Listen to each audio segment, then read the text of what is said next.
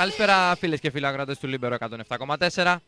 Εδώ είμαστε παρέα, θα πάμε μέχρι και τη μία με Γιώργο Παναγιωτίδη στο μικρόφωνο και Βασίλη Καβαδία στη ρύθμιση του ήχου με τη νέα εκπομπή του Λίμπερο ε, με τίτλο Post Game για να δούμε ε, το Post Game όλων των αναμετρήσεων που είχαμε αυτό το Σαββατοκύριακο με αρκετή αγωνιστική δράση και τη σημερινή ημέρα ε, μετά και από τα χθεσινά με πρόκριση της Εθνικής στο παγκόσμιο του 2019 στην Κίνα με ένα τρομερό buzzer beater του Πανικολάου με πρόκριση του Ηρακλή ε, μετά από ένα συγκλονιστικό παιχνίδι στην ψυχοφθόρη διαδικασία των πέναλτι, ο Γυραιό προκρίθηκε στη φάση των ομίλων του κυπέλου Ελλάδος. Το μάτσο που έγινε στο δημοτικό στάδιο της Καλιθέα απέναντι στον Εθνικό Πυρό με 19. Τελικό σκορ στη διαδικασία των πέναλτι με τον Περόν να γίνεται από μοιραίος ωραίος τελικά και να χαρίζει την πρόκληση με το τελευταίο πέναλτι ενώ είχε αποκρούσει νωρίτερα ο Βοσνιάδης. Ένα πραγματικά συγκλονιστικό παιχνίδι με τρομερό φινάλε, με πολύ άγχος. Έσπασαν καρδιές εκεί στο πρώτο επίσημο μάτι της σεζόν για τους Κιανολευκούς. Θα πούμε πολλά περισσότερα και στη συνέχεια. Ε, φυσικά πέρα από το post game θα έχουμε και το pre-game του αυριανού αγώνα του Άρη με τον Λεβαδιακό στις 7 στο Κλεάνδης Βικελίδης που αναμένεται να έχει αρκετό κόσμο. Και με αυτό το παιχνίδι θα ολοκληρωθεί, θα πέσει η αυλαία της τρίτης αγωνιστικής Super League. Ε, τη σημερινή ημέρα θα δούμε τι αποτελέσματα είχαμε στο ελληνικό πρωτάθλημα. Ενώ αυτή την ώρα ε, παρακολουθούμε και τι συμβαίνει και θα σας ενημερώσουμε εννοείται γι' αυτό στο παιχνίδι του Ολυμπιακού με τον Αστέρα Τρίπολης. Όπου στο 81ο λεπτό στο Καραϊσκάκι οι δύο ομάδες είναι ισόπαλες στο 1-1. Ε, ο Ολυμπιακός φαίνεται ότι είναι πολύ κοντά στην ε, πρώτη του γκέλα και θα είναι ένα αποτέλεσμα που σαφώς επηρεάζει αρκετά και τον ε, ΠΑΟΚ. Καθώς εάν ε, παραμείνει αυτό το 1-1 στα τελευταία λεπτά που απομένουν, ε, σημαίνει ότι ο δικέφαλος που έχει ξεκινήσει με μείον 2 στο φετινό πρωτάθλημα λόγω της περσινής του ποινής θα ισοβαθμίσει με τους Ερυθρολευκούς οι οποίοι θα μείνουν σε 7 βαθμούς και ενώ ακολουθούν φυσικά τα δύο ντέρμπι για τον ΠΑΟΚ κοντρα σε ΑΕΚ και Ολυμπιακό και γενικότερα από εδώ και πέρα μπαίνουμε σε ρυθμό ντέρμπι στο ελληνικό πρωτάθλημα. Ε, έχουμε αρκετά πράγματα να πούμε και για όσα συνέβησαν στο διεθνή χώρο με πολλά και ενδιαφέροντα και αυτό το Σαββατοκύριακο. Με τον Ρονάλντο να βάζει τα πρώτα του δύο γκολ με τη φανέλα της Juventus σε επίσημο μάτς. Το πρώτο να είναι ένα από τα πιο εύκολα στην καριέρα του βεβαίως. Ε, είχαμε νίκη του Παναθηναϊκού Σιλάρισα με ένα 3 που εξέπληξε πολλούς με την ομάδα του Γεωργουδόνη, τους πιτσιρικάδες του Γεωργουδόνη να κάνουν το 3 στα 3. Γενικότερα πολλά ενδιαφέροντα. Δεν ξεχνάω φυσικά και το φιλικό του Άρη ε, ο οποίος ιτήθηκε από τον Ήφο στο Λίμνο. Ο Ήφο στο Λίμνο ήρθε να παίξει δύο φιλικά παιχνίδια το Σαββατοκύριακο στη Θεσσαλονίκη. Ένα χθες με τον Πάο και ένα σήμερα με τον Άρη και τα κέρδισε και τα δύο. Στέλνοντας αν μη τι άλλο ηχηρό μήνυμα πως ε, φέτος ως νεοφώτιστη ομάδα στην Basket League ε, δεν θα διεκδικήσει απλά την παραμονή, αλλά ίσω και κάτι περισσότερο στο πρωτάθλημα. Θα δούμε περισσότερα συνέχεια και για το ότι συνέβη στο Νιγκάλης Χολ. Στην πρόβα Τζενεράλε του Άρη πριν το πρώτο ευρωπαϊκό παιχνίδι του και το πρώτο επίσημο της σεζόν κοντά στην δυναμό της Φλίδα. Έχουμε λοιπόν πάρα πολλά πράγματα για να πούμε. Οπότε μένετε συντονισμένοι εδώ παρέα. Θα πάμε μέχρι και τη μία. Ενώ θα έχουμε φυσικά αργότερα γύρω στις 12 και ε, επικοινωνία μαζί, τις δικές σας ανοιχτές γραμμές για να ακούσουμε και τα δικά σας σχόλια για ό,τι συνέβη το Σαββατοκύριακο. Και όχι μόνο. Ε, υπάρχει μεγάλη προσμονή σαφώς και στους φίλους του Άρη για το αυριανό παιχνίδι με τον Λεβαδιακό μετά το 2 στα 2 στο ξεκίνημα. Μπορείτε να στέλνετε και τα μηνύματά σας. Ε, ο τρόπος επικοινωνίας γνωστός. FM κενό αποστολή στο 54526 με χρέωση 1,24 ευρώ συμπεριλαμβανομένου του ΦΠΑ και των χρεώσεων κινητής τηλεφωνίας. Για οτιδήποτε επίσης θέλετε να σχολιάσετε. Ε, και γενικότερα έτσι θα πάμε παρεούλα χαλαρά βράδυ Κυριακής. Ε, μια πολύ ενδιαφέρουσα Κυριακή. Αθλητικής Κυριακής. Εδώ στο Λίμπερο 107,4. Ενώ ε, πάνω που λέγαμε για πολύ πιθανό σενάριο γκέλας του Ολυμπιακού, φαίνεται πως αυτό δεν θα υπάρξει καθώς το δεύτερο από τα 4 λεπτά των καθυστερήσεων οι Ερυθρόλευκοι κάνουν το 2-1, παίρνουν προβάδισμα και όπως φαίνεται θα πάρουν και τους τρεις βαθμούς τη νίκη, της, ε, νίκης κόντρα στον Αστέρα Τρίπολη στο Καραϊσκάκι. Δεν έχω προλάβει να δω. Είναι ο Νάτχο ο σκόρερ. Μάλιστα, ο Μπίμπρας Νάτχο, το πρώτο του γκολ με τη φανά του Ολυμπιακού. Ε, κάνει το 2-1. Δίνει προβάδισμα στους Ερυθρόλευκους απέναντι στον Αστέρα Τρίπολης. Ε, και απομένουν άλλα δύο λεπτά για τις καθυστερήσεις. Το δεύτερο από τα 4 λεπτά του έξτρα χρόνου σημειώθηκε το γκολ. Με ωραίο σούτ από το ύψος του πέναλτι του Μπίμπρα Νάτχο. Ωραίο μονοκόμματο στο δεξί έπιασε ο Ισραηλινός ε, μέσα από την περιοχή. Έστειλε την μπάλα στα δίκτυα 2-1 για τον Ολυμπιακό. Και όπως φαίνεται, δύσκολο να αλλάξει κάτι, δύσκολο να βρει απάντηση ο Αστέρας σε αυτό το πολύ μικροχρονικό διάστημα, διάστημα απομένει καθυστερήσεις στο Καραϊσκάκι. Οπότε οι Ερυθρόλευκοι οδεύουν προς το 3 στα 3 στο πρωτάθλημα. Θα πιάσουν την ΑΕΚ στους 9 βαθμούς και ε, ο Πάοκ θα μείνει στους 7. Και ο Πάοκ 3 στα 3 φυσικά έχει κάνει. Με, ε, το απόλυτο έχει ξεκινήσει το πρωτάθλημα, αλλά έχει το μείον 2 της περσινής του ποινής που τον ε, φέρνει δύο πόντους πίσω από την κορυφή βέβαια, στο ντέρμπι της ερχόμενης Κυριακής με την ΑΕΚ θα έχει την ευκαιρία να κάνει το προσπέρασμα σε περίπτωση που καταφέρει να πάρει τη νίκη και τους τρεις βαθμούς. Έχει ολοκληρωθεί το παιχνίδι στο Γιώργο Καραϊσκάκης. Ο Ολυμπιακός Αστέρας Τρίπολης 2-1 με τους Ερυθρόλευκους να βρίσκουν τον γκολ της λύτρωσης στις ε, καθυστερήσεις, το δεύτερο από τα 4 λεπτά των καθυστερήσεων με σκόρερ τον Μπίμπρας Νάτχο, το πρώτο του γκολ με την πανέλα του Ολυμπιακού, ο Ισραηλινός πρώην παίκτης του ΠΑΟΚ, έδωσε τη, τη νίκη τους ε, τρεις βαθμούς απέναντι στον Αστέρα Τρίπολης, ο οποίος μετά την ήττα στην Τούμπα στην Πρεμιέρα, την ήττα από την ΑΕΚ στην έδρα την προηγούμενη ε, αγωνιστική και την ήττα σήμερα στο Καραϊσκάκι, μένει στους 0 βαθμούς. Μετά από τρία δύσκολα παιχνίδια στο ξεκίνημα του πρωταθλήματος, δεν έχει καταφέρει να πάρει βαθμό. Και μιας και με αυτό το παιχνίδι ολοκληρώθηκε το σημερινό μενού της ε, Super League, να δούμε έτσι με μια πρώτη γρήγορη ματιά τα αποτελέσματα. Είχαμε νωρίς το απόγευμα Ξάνθη Πανετολικός 1-1 στην Ξάνθη με τον Ζήφκοβιτς εκεί να είναι πρωταγωνιστής και αρνητικός ε, και θετικός, με λάθος, με απόκρουση. Ε, ο Μωράρ για τον Πανετολικό τον γκολ, ο Γκέντρης εξοφάρισε με πέναλτι για την Ξάνθη στο πρώτο μήχρονο και τα δύο τέρματα. Είχαμε το διπλό του Παναθηναϊκού που προκάλεσε έτσι έκπληξη αν θέλετε στη Λάρισα με σκορ 3-1 ε, με δύο γκολ του Γιώχανσον και ένα του Χατζη Γιωβάνη ενώ είχε μειώσει προσωρινά σε 1-2 η ΑΕΛ 1-3 για το τελικό αποτέλεσμα. Ο Παναθηναϊκός που έχει ξεκινήσει με 3 στα 3 και αυτός μετά το διπλό στην Ξάνθη στην Πρεμιέρα, τη νίκη επί της Λαμίας στο ΆΚΑ και το σημερινό διπλό στη Λάρισα 3 στα 3 για τους ε, νεαρούς του Γιώργου Δόνη. Βέβαια ο Παναθηναϊκός έχει ξεκινήσει με το μείον 6 και έτσι ε, σήμερα πήρε ουσιαστικά τους πρώτους του τρεις βαθμούς στον ε, βαθμολογικό πίνακα. Ο Ατρόμητος κέρδισε με 1-0 ε, τη Λαμία στο Περιστέρι. Λαμία που και αυτή έχει ξεκινήσει με τρεις ήττες από Άρη, Παναθηναϊκό και σήμερα στον Ατρόμητο. Ο Ατρόμητος με αυτό το 1-0 με σκόρερ τον Ευθύμη Κουλούρη και σήμερα πήρε την δεύτερη νίκη του και μια ισοπαλία. Και μάλιστα τα τρία γκολ που έχει πετύχει μέχρι στιγμής ο Ατρόμητος στο πρωτάθλημα τα έχει σημειώσει και τα τρία ο Ευθύνη Κουλούρης, ο επιθετικός, ο οποίος αγωνίζεται, θυμίζω, με τη μορφή δανεισμού από τον Μπάουκ στην ομάδα του Περιστερίου. Και αν μη τι άλλο, έχει ξεκινήσει πολύ εντυπωσιακά το πρωτάθλημα. Έχει χαρίσει ουσιαστικά ε, αυτές τις δύο νίκες στην ομάδα του και υπάρχει μια λευκή ισοπαλία στο Περιστέρι στο παιχνίδι με την ε, Ξάνθη. Το τελευταίο μάτι ημέρας ήταν στο Καραϊσκάκι Ολυμπιακός Τέρας Τρίπολης 2-1 τελικό αποτέλεσμα. Ολοκληρώθηκε πριν από λίγο. Και η αυλαία της τρίτης αγωνιστικής πέφτει αύριο στις 7 στο Κλεάνδης Βικελίδης που αναμένεται να έχει πάρα πολύ κόσμο όπου ο Άρης θα υποδεχτεί τον Λεβαδιακό στο πρώτο του παιχνίδι στη φυσική του έδρα μετά την επιστροφή της ομάδας στην ε, Super League. Θυμίζουμε το μάτι προηγούμενης αγωνιστικής ήταν και πάλι εντός έδρας κόντρα στην ΑΕΛ, αλλά είχε γίνει στο Καφτατζόγλιο, όπως όλοι θα θυμάστε.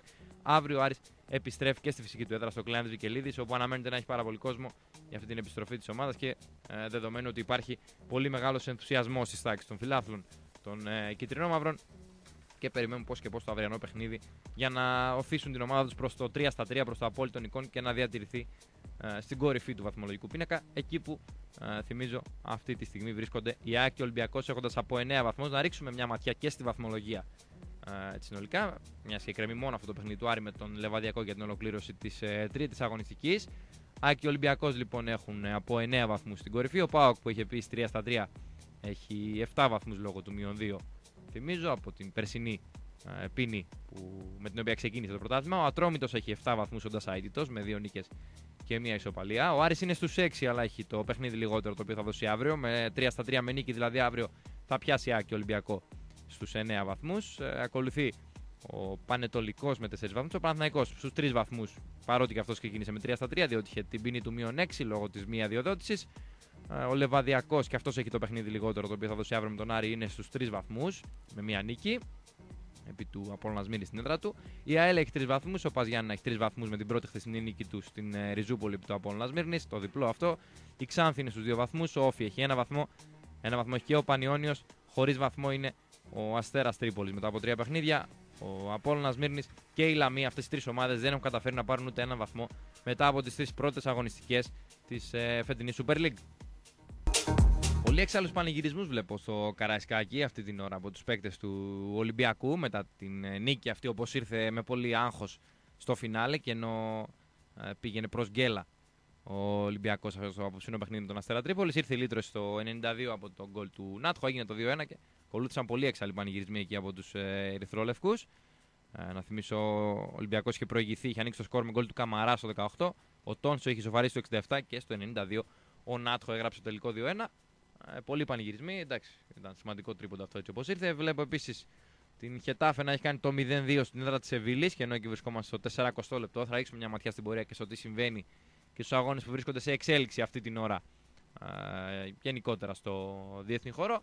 Θα δούμε συνοπτικά συνέχεια και όλα τα αποτελέσματα και έχουμε πολλά ε, ακόμα να πούμε όπως ξεκινήσαμε στη σημερινή εισαγωγή του post-game της νέας εκπομπής του Λίμπερο εδώ που θα τα λέμε παρέα κάθε Σάββατο και Κυριακή από τις 10 μέχρι και τη 1 ε, για ό,τι συμβαίνει στην αγωνιστική δράση κάθε Σαββατοκύριακο ε, όπου φυσικά έχουμε αρκετά πράγματα να πούμε μιας και η δράση είναι πολύ πλούσια. Φυσικά δεν μπορούμε να μην σταθούμε στο ξεκίνημα σε, στην πρόκριση που πήρε ο Ηρακλής ε, στο πρώτο του επίσημο παιχνίδι σεζόν για την τρίτη φάση του Κυπέλου Ελλάδος.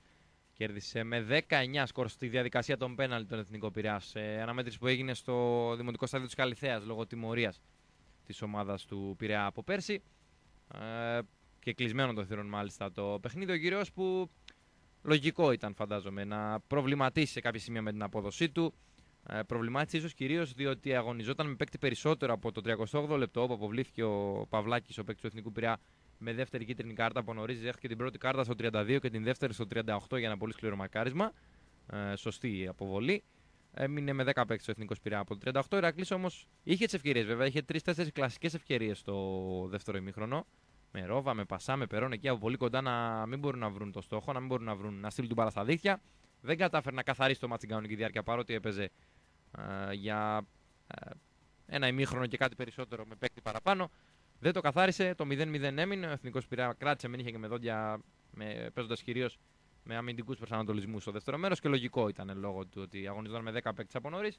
Πήγε στην παράταση στο μάτσα, εκεί μπήκε μεγαλύτερη ψυχολογία ο Εθνικός Πειραιά και καταφέρει να κρατήσει αυτό το 0-0. Είναι λογικό αυτό, έτσι πολύ ποδοσφαιρικό να, το, να συμβεί. Και άνοιξε το σκορ στο 95, στο 5ο λεπτό της παράτασης δηλαδή. Έγινε, βρήκαν εκεί ένα κενό χώρο. Έγινε το 1-0 και από εκεί πέρα βρέθηκε με την πλάτη στον τοίχο. Ηρακλής να κυνηγάει να ισοφαρίσει. Τελικά το κατάφερε στο 120 στην εκπνοή τη τελευταία φάση της ε, παράτασης και ενώ όλα έδειχναν ότι θα αποκλειστεί από το κύπελο και θα ξεκινήσει με το αριστερό τις υποχρεώσεις του στην ε, φετινή σεζόν. Η ομάδα του Αλέκου Βοστινιάδη βρήκε τη λύση, βρήκε τον γκολ με μια ωραία κεφαλιά του Χριστουρόβα και ενώ νωρίτερα έχεις σκάψει άφημα την μπάλα ο Περόν από αριστερά. Έγινε το 1-1 εκεί, το 120 και πήγαμε στη διαδικασία των πέναλτι, η οποία έμοιαζε ατελείωτη πραγματικά. Χρειάστηκε να εκτελέσουν από 11 πέναλτι οι δύο ομάδες. 11 εθνικός και 11 Ερακλής.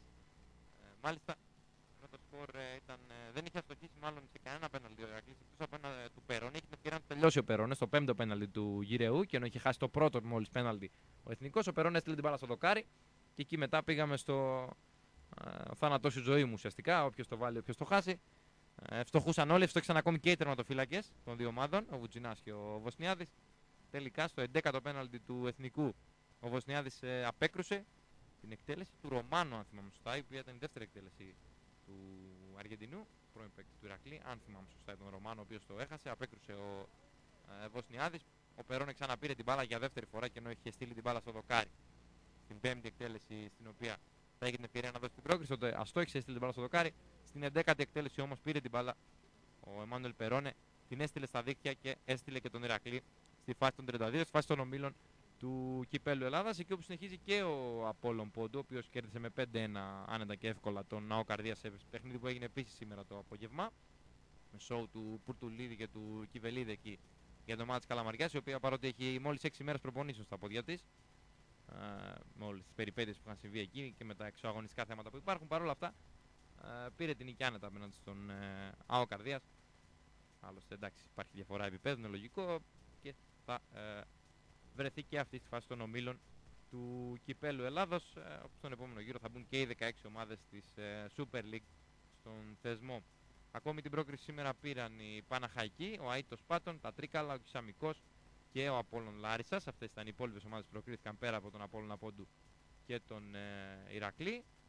Ε, αποκλείστηκαν ε, ο Πλατανιάς, η Δόξα Δράμας ε, και ο, ναι, ο Πλατανιάς αποκλείστηκε από τον Άρια Βάτου και από, ο, η Δόξα Δράμας από την Νίκη Βόλου σε παιχνίδια που έγιναν ε, επίσης σήμερα, αλλά νομίζω αυτή η πρόκριση του Ρακλής στα πέναλτι με αυτό το σκορ και έτσι όπως εξελίχθηκε το μάτς ήταν το παιχνίδι που ξεχώρισε στη σημερινή ημέρα και στο, για το οποίο θα πούμε περισσότερα και μετά το πρώτο break, στο οποίο θα πάμε σε λίγο.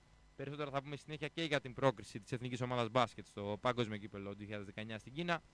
Με αυτή την επική ανατροπή με το σερί 7 στα τελευταία 90 δευτερόλεπτα περίπου. Στο μάτς που έγινε στο κατάμεσο κλειστό στην Τυφλίδα. Μεγάλη ανατροπή, μεγάλη νίκη με buzzer beater του Πανικολάου και μεγάλη πρόκριση με 8 στα 8 στην ε, φάση των προκριματικών για την Εθνική Ομάδα Μπάσκετ που έστειλε πολύ αισιόδοξα μηνύματα, αν μη τι άλλο, με τη σημερινή εμφάνιση και νίκη.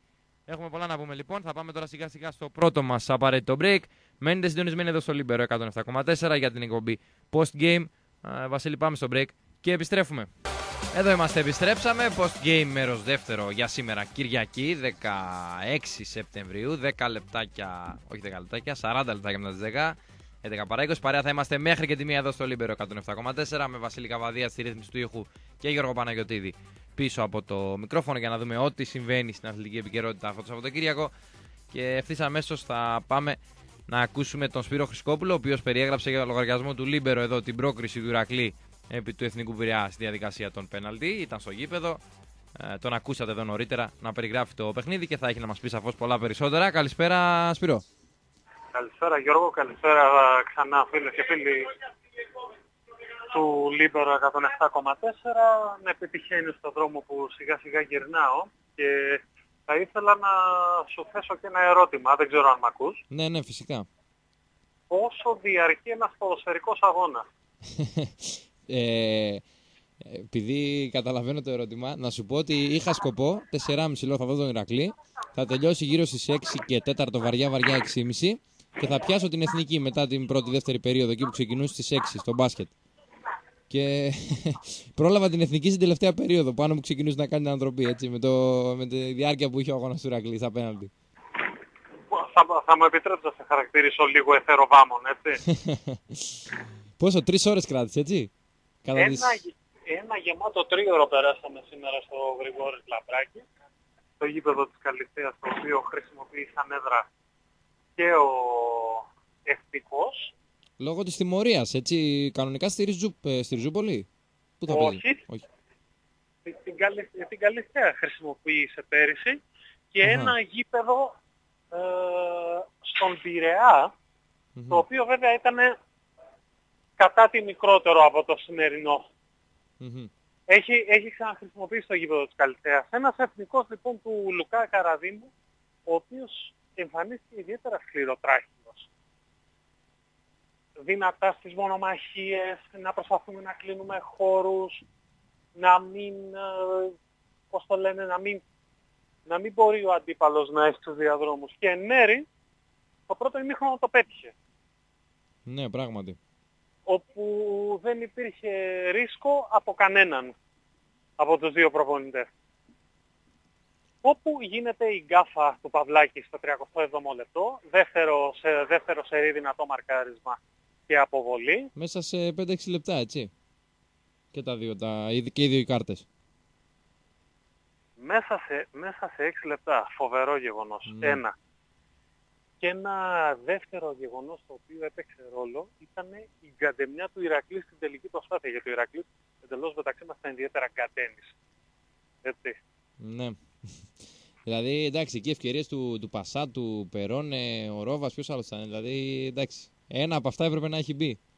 Να τελειώσει το μάτι στην κανονική διάρκεια. Αν έμπαινε μία από αυτές τις φάσεις, νομίζω και με 0-1 μετά το τελείωνε ο Ηρακλής με το αριθμητικό πλεονέκτημα, δεν θα δυσκολεύονταν να το διαχειριστεί. Αυτό έλεγα και νωρίτερα. Εφόσον κράτησε το 0 ο εθνικός πειρά παίζοντας το 38 με παίκτη λιγότερο, ε, λογικό ήταν μετά να μπει με καλύτερη ψυχολογία στην παράταση, έτσι. Μπήκε με καλύτερη ψυχολογία ευτύχησε να προηγηθεί. Ωστόσο η τύχη κάτι χρωστούσε στον Ηρακλή και του το έδωσε στο 120. Ας μας χαρακτηρίσουν ορισμένοι και υπερβολικούς και όπως θέλουν, δεν υπάρχει ζήτημα. Είναι, είναι γεγονός ότι η τύχη χρωστούσε σε αυτόν τον Ηρακλή και του το έδωσε. Ντεπούτο πετυχημένο για τον Αλέκο Βοσνιάδη, βέβαια σε κάποιες κουβέντες έτσι λίγο μετά το τέλος του παιχνιδιού με τον Σίλβα Κλέιτον και με τον Ντάι, ακούστηκε η ατάκα θέλουμε δουλειά. Δεν είναι δυνατόν να παίρνουμε την πρόκριση με αυτόν τον τρόπο. Θέλουμε πολλή δουλειά. Ναι. Δεν ήταν καλός ο Ηρακλής. Εντάξει, ε, έχει όμως πολλά ελαφρυντικά γιατί ήταν πρώτο παιχνίδι της σεζόν. Ε, πολλά μεταγραφικά αποκτήματα άργησαν να μπουν, υπήρξαν αλλαγές, αλλαγή προπονητή. Εντάξει, έχει πολλά ελαφρυντικά. Έτσι, και λογικά φαντάζομαι περιμένουν και οι άνθρωποι του κυρίου πολύ καλύτερη εικόνα στη συνέχεια από αυτή την ομάδα με αυτό το υλικό έχει την ομάδα, έχει το υλικό και να πρωταγωνιστήσει και να πετύχει αυτό που θέλει ο κόσμος του, την άνοδο. Ναι, σίγουρα. Πάμε, πάμε από εκεί και πέρα να πούμε το, το ευτράπελο νούμερο 1. Εκεί που ο Εμμάνουελ Περόνε ήταν έτοιμος να τελειώσει την υπόθεση πρόκριση μία και καλή. Στάθηκε άτυχος, η μπάλα χτύπησε στο οριζόντιο δοκάρι και πήγαμε στη συνέχεια των πέναλτι. Ναι. Από μοιραίος έγινε ωραίος ο Περόνε. Εντάξει, μετά ε, δεύτερο, δεύτερο λάθος δεν υπήρχε περίπτωση να του συγχωρέσει κάποιος. Η αλήθεια είναι αυτή. Ναι, το εντάξει δεν ξέρω αν ήταν προγραμματισμένο να εκτελέσει εκείνο το πέναλτι ή αν ήταν κάποιος άλλος να πάει. Γιατί ε, βέβαια το πήρε πολύ φευγαλέα το μάτι μου, όπως ε, έδειξε η κάμερα. Δεν φάνηκε ξεκάθαρα, αλλά ε, φάνηκε να πηγαίνει μόνος με πρωτοβουλία ενώ ήταν άλλος παίκτης να πάει να εκτελέσει το 10ο πέναλτι. Στο οποίο αν το έβαζε μετά το απόκριση του Βοσνιάδη, θα ήταν και το νικητήριο αν το πετύχαινε. Και αντί να πάει αυτός που ήταν κανονικά να πάει προγραμματισμένο, δόθηκε εντολή με τη σειρά που ήταν να εκτελέσουν, το, το πήρε πάνω το περόν και πήγε για να διορθώσει το λάθος προφανώς. Δεν, δεν μπορώ να βάλω το χέρι μου σε αυτιά ότι έγινε έτσι ακριβώς. Κάτι τέτοιο φάνηκε από όπως πέρασε η κάμερα. Να πηγαίνει δηλαδή με πρωτοβουλία το περόν ενώ ήταν να πάει άλλος παίκτης αρχικά. Ισχύει, ισχύει στο ακέραιο. Είναι η πρωτοβουλία. Είναι η πρωτοβουλία του ηγέτη, ο οποίος λέει το παίρνω πάνω μου να, για να τελειώσει και το θέμα της πρόκρισης.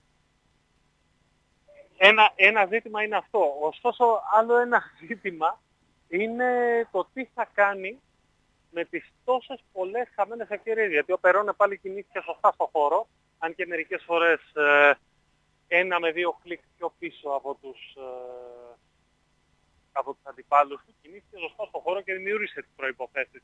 Αυτά βέβαια χρήζουν βελτίωση από τον Αλέκο Βοσνιάδη. Να πούμε ότι στο γήπεδο βρέθηκε ο Τόμ Παπαδόπουλος μαζί με τον κύριο Καραντώνη, ο οποίος τον αναλάβει χρέη πρόεδρος στην uh, ΠΑΕ και παρακολούθησαν το παιχνίδι μαζί με, του, με τη διοίκηση του Εθνικού σε ένα πολύ ωραίο στιγμιότυπο το οποίο εκτιλήθηκε μπορώ να σου πω και δύο σειρές κάτω από εκεί που βρισκόμασταν mm-hmm.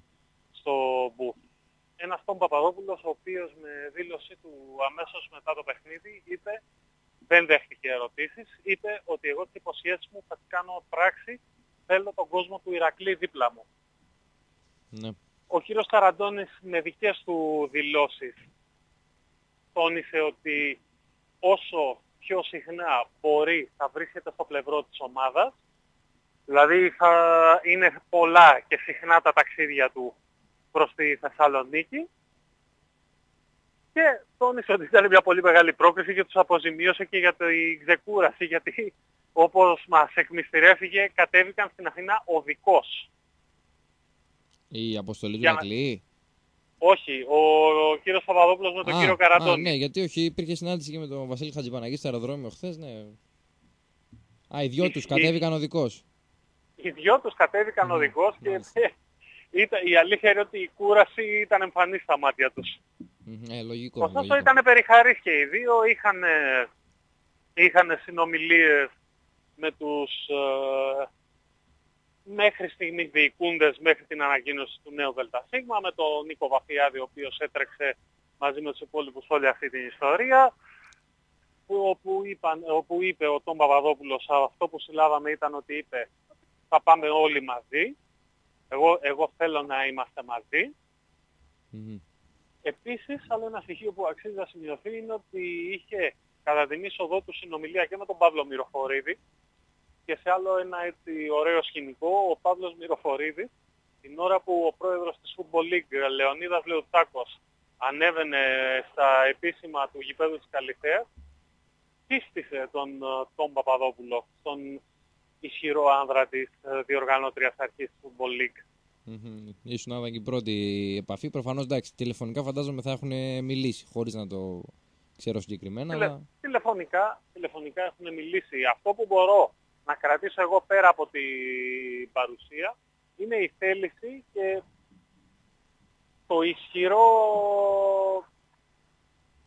ότι ο ισχυρός λόγος. Δηλαδή εγώ είμαι εδώ, έκανα ό,τι έκανα γιατί ήθελα τον Ηρακλή, θα τηρήσω τις υποσχέσεις μου, θα το δείτε στην πράξη. Από εκεί και πέρα στο αγωνιστικό κομμάτι ο Ηρακλής επιδέχεται βελτίωσης γιατί είχαμε, πρέπει να σημειώσουμε και τα δύο άκρα σήμερα στο κύπελο έτσι. Στο πρώτο 90 λεπτό του Ηρακλή είχαμε πρόκριση στα πέναλτι, που δεν ήταν 90 λεπτό, ήταν πολύ παραπάνω. Ναι. Με ό,τι μπορεί να σημαίνει αυτό και στον Απόλλωνα Πόντου, στο πρώτο του παιχνίδι ουσιαστικά, με λίγες μέρες προετοιμασίας είχαμε Μόλις το 6 μέρες προπονήσεων, ναι, και εντάξει, με τον Αο Καρδίας, εντάξει, πιο αδύναμη ομάδα, έτσι. Αυτό θέλω να σχολιάσω λέγοντας ότι αυτά είναι τα δύο άκρα και καλό θα είναι να μην, ε, να μην παίρνουμε υπόψη μας τα πρώτα παιχνίδια, αλλά αυτό που θα δώσει το στίγμα, αυτό που θα πάει η σεζόν είναι η διάρκεια. Σαφώς, σαφώς. Και αν δεν κάνω λάθος, ε, μετά το τέλος του αγώνα και ο κύριος Λεωτσάκος που ήταν στο γήπεδο ανέφερε ότι λογικά πάει για σέντρα προς τις 6-7 Οκτωβρίου το πρωτάθλημα της Football League. 6-7 Οκτωβρίου, πα- για Ναι. 6-7 Οκτωβρίου πάει. Για 6-7 Οκτωβρίου, γιατί δεν είναι έτοιμη και γιατί ε, σε πρόσφατη τοποθέτησή του το μέλος της Επιτροπής Επαγγελματικού Αθλητισμού, ο Ηλίας Αρκούδης, είπε το εξής. Λέμε ότι όλα καλά, πάμε για έναρξη 23 του Σεπτέμβρη. Και γυρνάει και λέει, είστε σίγουροι; Α, Ποιες μάλιστα. ομάδες είναι έτοιμες; μάλιστα. Και τι, και τι του απαντάς εκεί από τη στιγμή που τα χαρτιά του Απόλλωνα Πόντου δεν έχουν κατατεθεί ακόμα για να περάσει από την Επιτροπή Επαγγελματικού Αθλητισμού και να Ναι. πάρει το πιστοποιητικό συμμετοχής. Ο Αιγυνιακός εξακολουθεί να υπάρχει, χωρίς, ά- να υπάρχει στο πρωτάθλημα χωρίς άδεια, το ίδιο και ο Απόλλωνας Λάρισας. Μάλιστα. Δεν ξέρω πόσο ακούγεται σε αυτό, πάντως σε μένα είναι λίγο ευτράπελο. Ε, Τα- τα, τα γνωστά όμορφα του ελληνικού ποδοσφαίρου νομίζω, έτσι. Ομορφιές, ομορφιές δεν μπορώ να πω. έτσι. Να πούμε και ότι ο Ηρακλής πήρε πρόκριση στα πέναλτι μετά από τέσσερα χρόνια. Έτσι. Μετά από εκείνο το, το επικό μάτς ήταν προημιτελικός, αν θυμάμαι καλά, κυπέλου με τον Πανιόνιο. Τότε ο Ηρακλής ήταν στη Football League, τη χρονιά που ανέβηκε, που επέστρεψε. Το 2014. αν Με θυμάμαι τον σωστά. Παύλο Μυροφορίδη πάλι στο Μπράβο. πόστο τεχνικού διευθυντή. Μπράβο, ναι. Με το Ρωμάνο τότε να εκτελεί πέναλτι υπέρ του Ηρακλή. Σήμερα στόχισε ο Ρωμάνο έναντι στον Στο Ηρακλή. δεύτερο. Ναι, στο δεύτερο, το πρώτο έβαλε σωστά. Στο, στο κρίσιμο αστόχησε, αυτό που έπιασε ο Βοσνιάδης το τελευταίο. Υπήρχαν πολλά όμορφα στιγμιότυπα και με, το, και με τον Τάσο Κατσιαμπή, δηλαδή ακούστηκε κάποια στιγμή από την Κερκίδα όταν σηκώθηκε ο Κατσιαμπής ε, αλλαγή Κατσιαμπής για να γουστάρουμε λίγο να δούμε μπάλα, σκέψου. Ε, είχε μήπω Ναι. κανένα σταντανέτσι, Κατιαμπή, Καραδίμου, οι οποίοι ήταν συμπαίκτες, κατέκτησαν κύπελο μαζί με τον Μπάουκ, έτσι.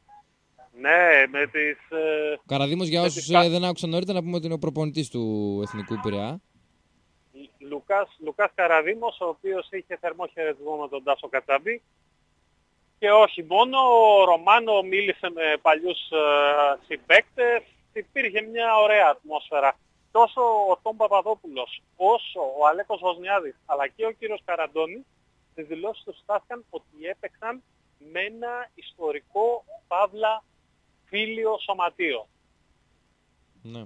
Ε, Σαφώς, εντάξει, ο Εθνικός Πειραιά, έτσι. Ήταν και ο Εθνικάρα εκεί, ακουγόταν συνεχώς από το τηλεοπτικό δέκτη. Ο γνωστός Και φίλος φε- του Εθνικού Πειραιά. Ακριβώς από κάτω έδινε τον τόνο ο Ναι. Γιάννης Ματζουράνης. Ασταμάτητος. Αυτά δεν ξέρω Ωραία, αν, Σπύρο, δεν ξέρω ε, ναι, αν δεν θέλεις υπάρχει κάτι να- άλλο. Όχι, δεν Ωραία. υπάρχει κάτι άλλο. Είμαστε σε μια πολύ ωραία βραδιά. Ωραία, ωραία. Αυτό.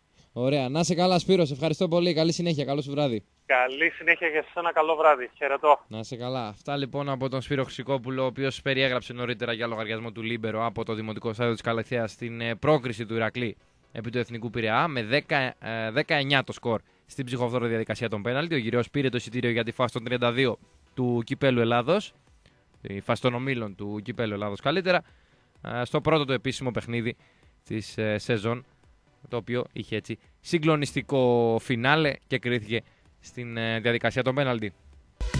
Αυτά λοιπόν για την σημερινή πρόκριση του Ηρακλή και να κάνουμε έτσι μια πρώτη αναφορά στην πολύ μεγάλη επίσης πρόκριση της εθνικής μας ομάδας μπάσκετ, η οποία με επική ανατροπή στα τελευταία 88 δευτερόλεπτα έκανε σερή 7-0 σε ένα μάτσο που δεν είχε ξεκινήσει καθόλου καλά, που ήταν πίσω με 49-38 στη λήξη του ημιχρόνου, στη δεύτερη περίοδο.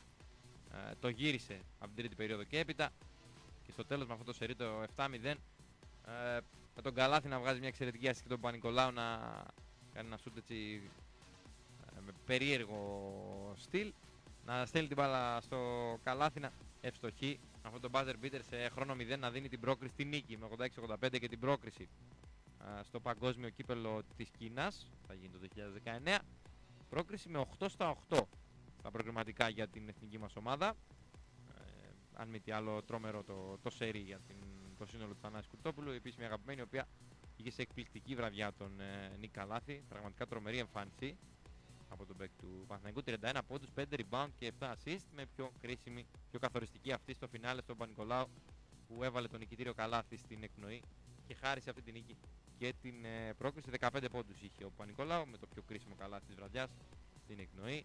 Νίκη πρόκριση λοιπόν ε, και αισιόδοξο μήνυμα, μια αγκαλιά επέκταση, έντονοι πανηγυρισμοί στο κατάμεστο κλειστό γήπεδο της Τυφλίδας απέναντι στην Γεωργία που ήταν αξιόμαχη αλλά στο τέλος η Εθνική Χαμογέλασε πανηγύρισε αυτή την πρόκριση στο εισιτήριο για το παγκόσμιο κύπελο της ε, Κίνας εκεί όπου θα πάει φυσικά με πολύ ε, υψηλές προσδοκίες. Λοιπόν, για να πλησιάζουμε στις 11 θα πάμε σε ένα ακόμη σύντομο διάλειμμα για διαφημίσεις απαραίτητο για να επιστρέψουμε με ό,τι άλλο υπάρχει στην αγωνιστική δράση και στην αθλητική επικαιρότητα. Φυσικά θα έχουμε ενημέρωση και ανάλυση και για την φιλική ήττα του Άρη από τον Ήφαιστο Λίμνου. Ε, ρεπορτάζ από την Ελένη Μπούντου για τα του ΠΑΟΚ. Για Άρη που αύριο ετοιμάζεται για το παιχνίδι με τον ε, Λεβαδιακό. Θα δούμε και την αποστολή των Κιτρινόμαυρων με τον Μανώλη Σιόμπι να συμπεριλαμβάνεται σε αυτή. Ε, έχουμε φυσικά την είδηση ότι αύριο στις 9 το πρωί θα κυκλοφορήσουν αποκλειστικά μέσω διαδικτύου τα εισιτήρια για τον αγώνα του ΠΑΟΚ με την Chelsea. Άλλωστε εκεί έχουν στρέψει πια την προσοχή τους οι ασπρόμαυροι απόλυτα στο μάτι ερχόμενης Πέμπτης, 8 παρα 5 στο γήπεδο της Τούμπας. Ε, θα δούμε και τα νέα από τους ε, Λονδρέζους με τον Κόβατ εκεί να έχει τα θεματάκια του. Ε, και πολλά ακόμη περισσότερα εδώ στο Post Game στο Libero 107,4. Ε, πάμε σε ένα break, Βασίλη, και επιστρέφουμε. Εδώ είμαστε, επιστρέψαμε. Περίπου 10 λεπτάκια μετά τις 11. Ε, δεύτερη ώρα της εκπομπής Post Game εδώ στο Libero 107,4 με Βασίλη Καβαδίας στη ρύθμιση του ήχου και Γιώργο Παναγιοτήδη πίσω από το μικρόφωνο. Και ενώ στα πιο ενδιαφέροντα μάτς ε, από αυτά που βρίσκονται σε εξέλιξη αυτή την ώρα στην Ευρώπη γενικότερα, Κάλιαρη Μίλαν 1-1 στο 83ο λεπτό και ε, Σεβίλη Χετάφε 0-2. Εκεί βρισκόμαστε στο 66ο λεπτό. Και ενώ θα πάμε τώρα να δούμε ό,τι συμβαίνει στο ρεπορτάζ του ΠΑΟΚ, θα καλησπερίσουμε την Ελένη Μπούντου που είναι στην τηλεφωνική μας γραμμή. Καλησπέρα Ελένη. Χαίρετε, καλησπέρα. Τι γίνεται, τι εμείς κάνεις; Είμαστε, εμείς είμαστε με το Κάλιαρη Μίλαν, έτσι. Κάλιαρη Μίλαν Αυτό βλέπεις ξέρεις. εσύ, ε; Α, αυτό, αυτό παίζει τηλεόραση, ναι. Και τι, τι περιμένεις, θα το, θα το βάλει το νικητήριο η Μίλαν τώρα στο τέλος; Εντάξει, επειδή ξέρω, ξε- το συζητάμε και πολλοί κόσμος, η αλήθεια είναι ότι την έχει παίξει τη Μίλαν, έτσι. Ε, περιμένει ταμείο. Ε, εντάξει, κρίμα είναι τα παιδιά, έτσι, ας μην, ας μην ε, το στερήσουμε το ταμείο, ευελπιστούμε να το, να το γυρίσει Πάντως- η Μίλαν, έτσι, θα κάνει την ανατροπή. Ναι, πάντως βλέπεις, τα έχω πει πολλές φορές για την Ιταλία. Βλέπεις, ξεκίνησε η Ίντερ πάλι χθες, έχασε από την Πάρμα εντός έδρας 0-1. Η Ρώμα σήμερα 2-2 με την Κίεβο έπαιζε.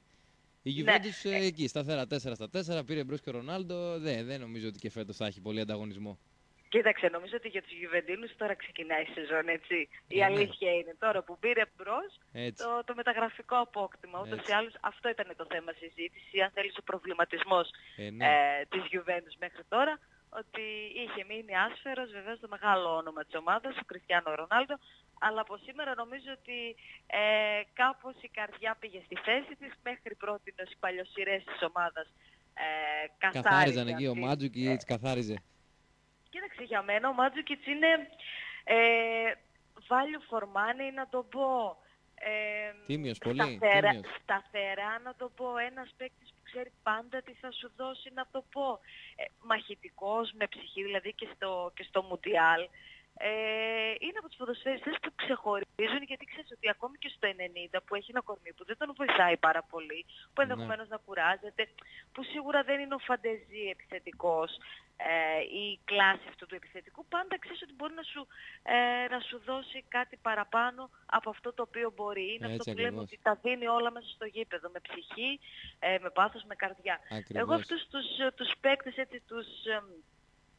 εμ, που δίνουν το 110 ρε Τον παιδί μου, αγαπάει στο και θέσο, εκείνα έτσι. πολύ τη Juventus. Το, το έχει δείξει δηλαδή. Το, το έχει δείξει όσα χρόνια είναι εκεί. Και, και εμένα είναι από τους αγαπημένους μου. Είναι από τους αγαπημένους μου γιατί αυτό ακριβώς. Ε, σίγουρα τα δίνει όλα. Είτε πρόκειται για την εθνική ομάδα είτε για τη Juventus τα δίνει όλα. Ναι. Και ο Ρονάλντο τώρα να σου πω πάει και στη Βαλένθια την Τετάρτη. Σε ένα γήπεδο που Ωραία. εντάξει, το, το αγαπάει τα Ωραία. τελευταία χρόνια με τη, με τη Real. Το αγαπούσε.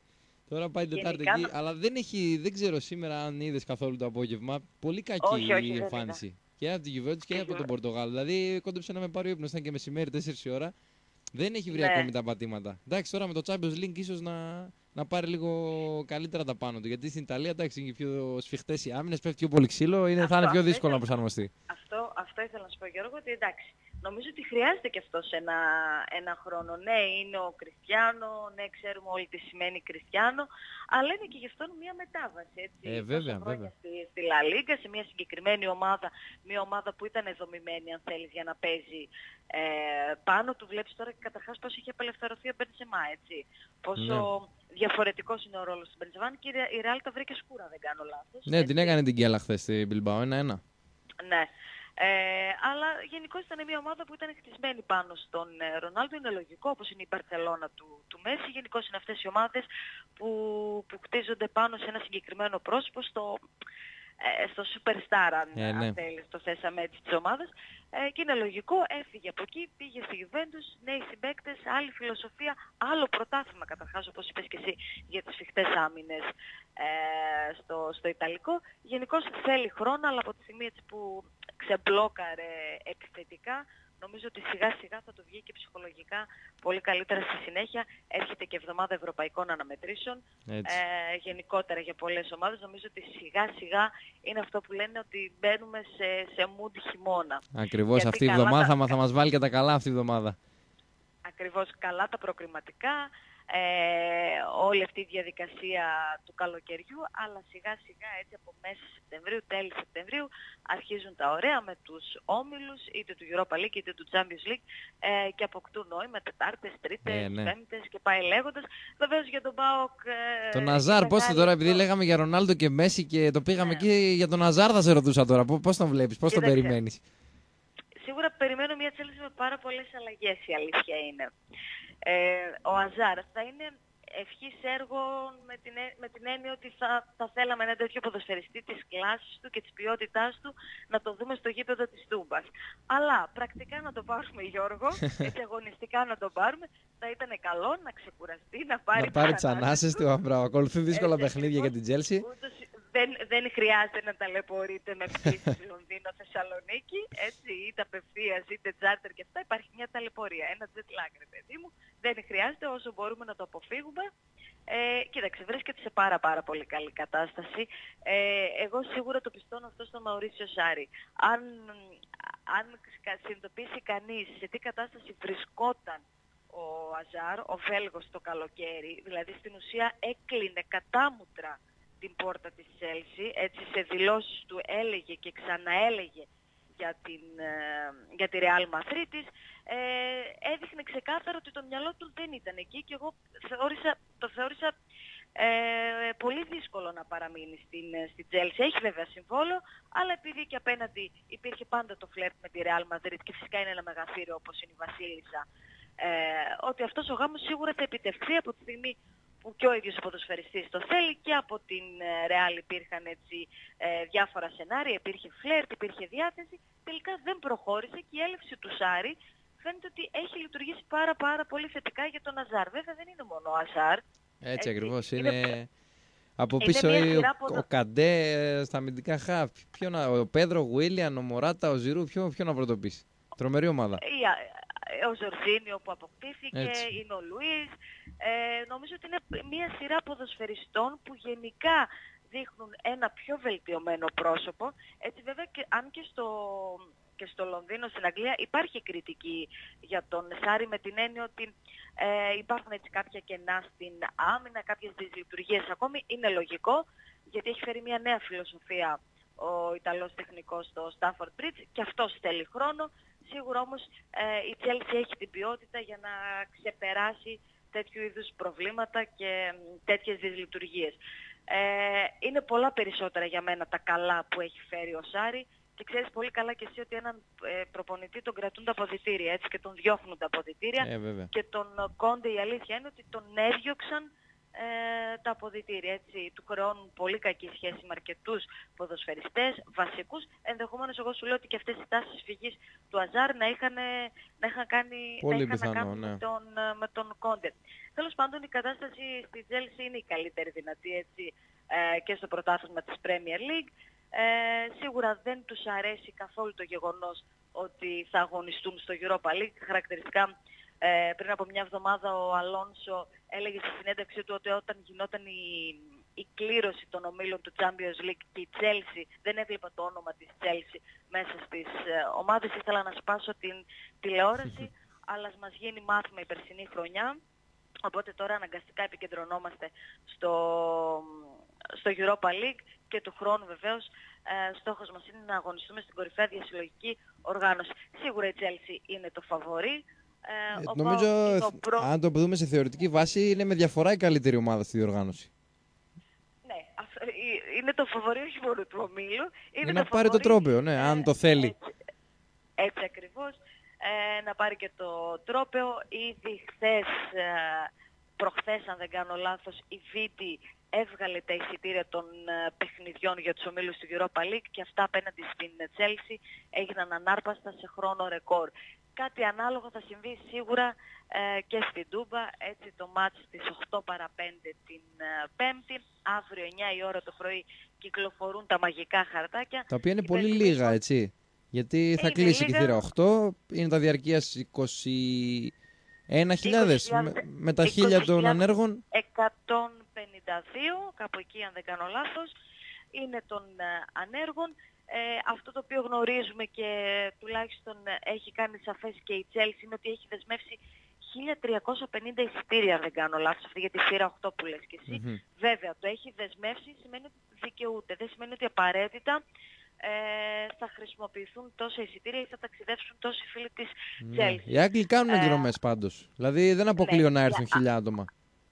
Ναι, αυτό, αυτό θα σου έλεγα και εγώ. Δεν νομίζω ότι θα δούμε κάτι ανάλογο με Μπενφίκα που μία μέρα πριν το παιχνίδι η Μπενφίκα αντιλαμβανόμενη ότι δεν έχει κόσμο και ότι δεν έχουν έτσι δεσμευτεί τα εισιτήρια των φιλοξενούμενων άφησε, απελευθέρωσε την θύρα 8 η οποία βεβαίως άνοιξε για τον κόσμο του ΠΑΟΚ έτσι μία μέρα πριν και μέσα σε λίγες ώρες έγινε sold out και στη συγκεκριμένη θύρα.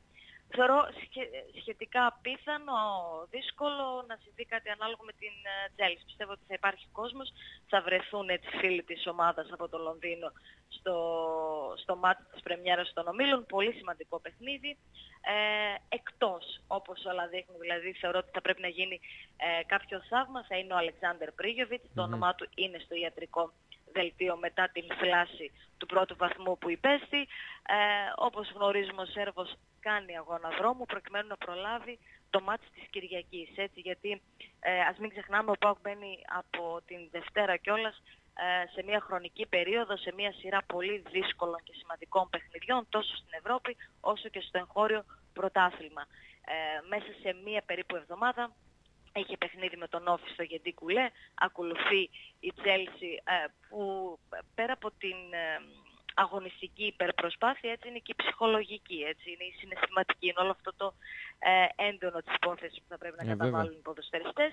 Ακολουθεί το μάτς με την ΑΕΚ, όλοι γνωρίζουμε τι σημαίνει ένα τέτοιο παιχνίδι έτσι και για τον ΠΑΟΚ και για την ΑΕΚ και βεβαίως ε, εκτός έδρας παιχνίδι με Ολυμπιακό στο Γιώργος Καραϊσκάκης. Γενικώς καθόλου εύκολο το, το πρόγραμμα του, του ΠΑΟΚ, αλλά για την ώρα επικεντρωνόμαστε βεβαίως στο ευρωπαϊκό παιχνίδι. Ο ΠΑΟΚ θέλει μια καλή αρχή απέναντι στην Τσέλσι. Δεν θα είναι εύκολο, αλλά από Τρίτη Τετάρτη σιγά σιγά θα μπαίνουμε σε ρυθμούς ε, Ευρώπης, να δούμε και το, την αποστολή που θα ταξιδέψει στη Θεσσαλονίκη, ποιες οι αλλαγές, ποιες οι σκέψεις του Μαουρίσιο Σάρη, ε, για το απόγευμα της, ε, της Πέμπτης.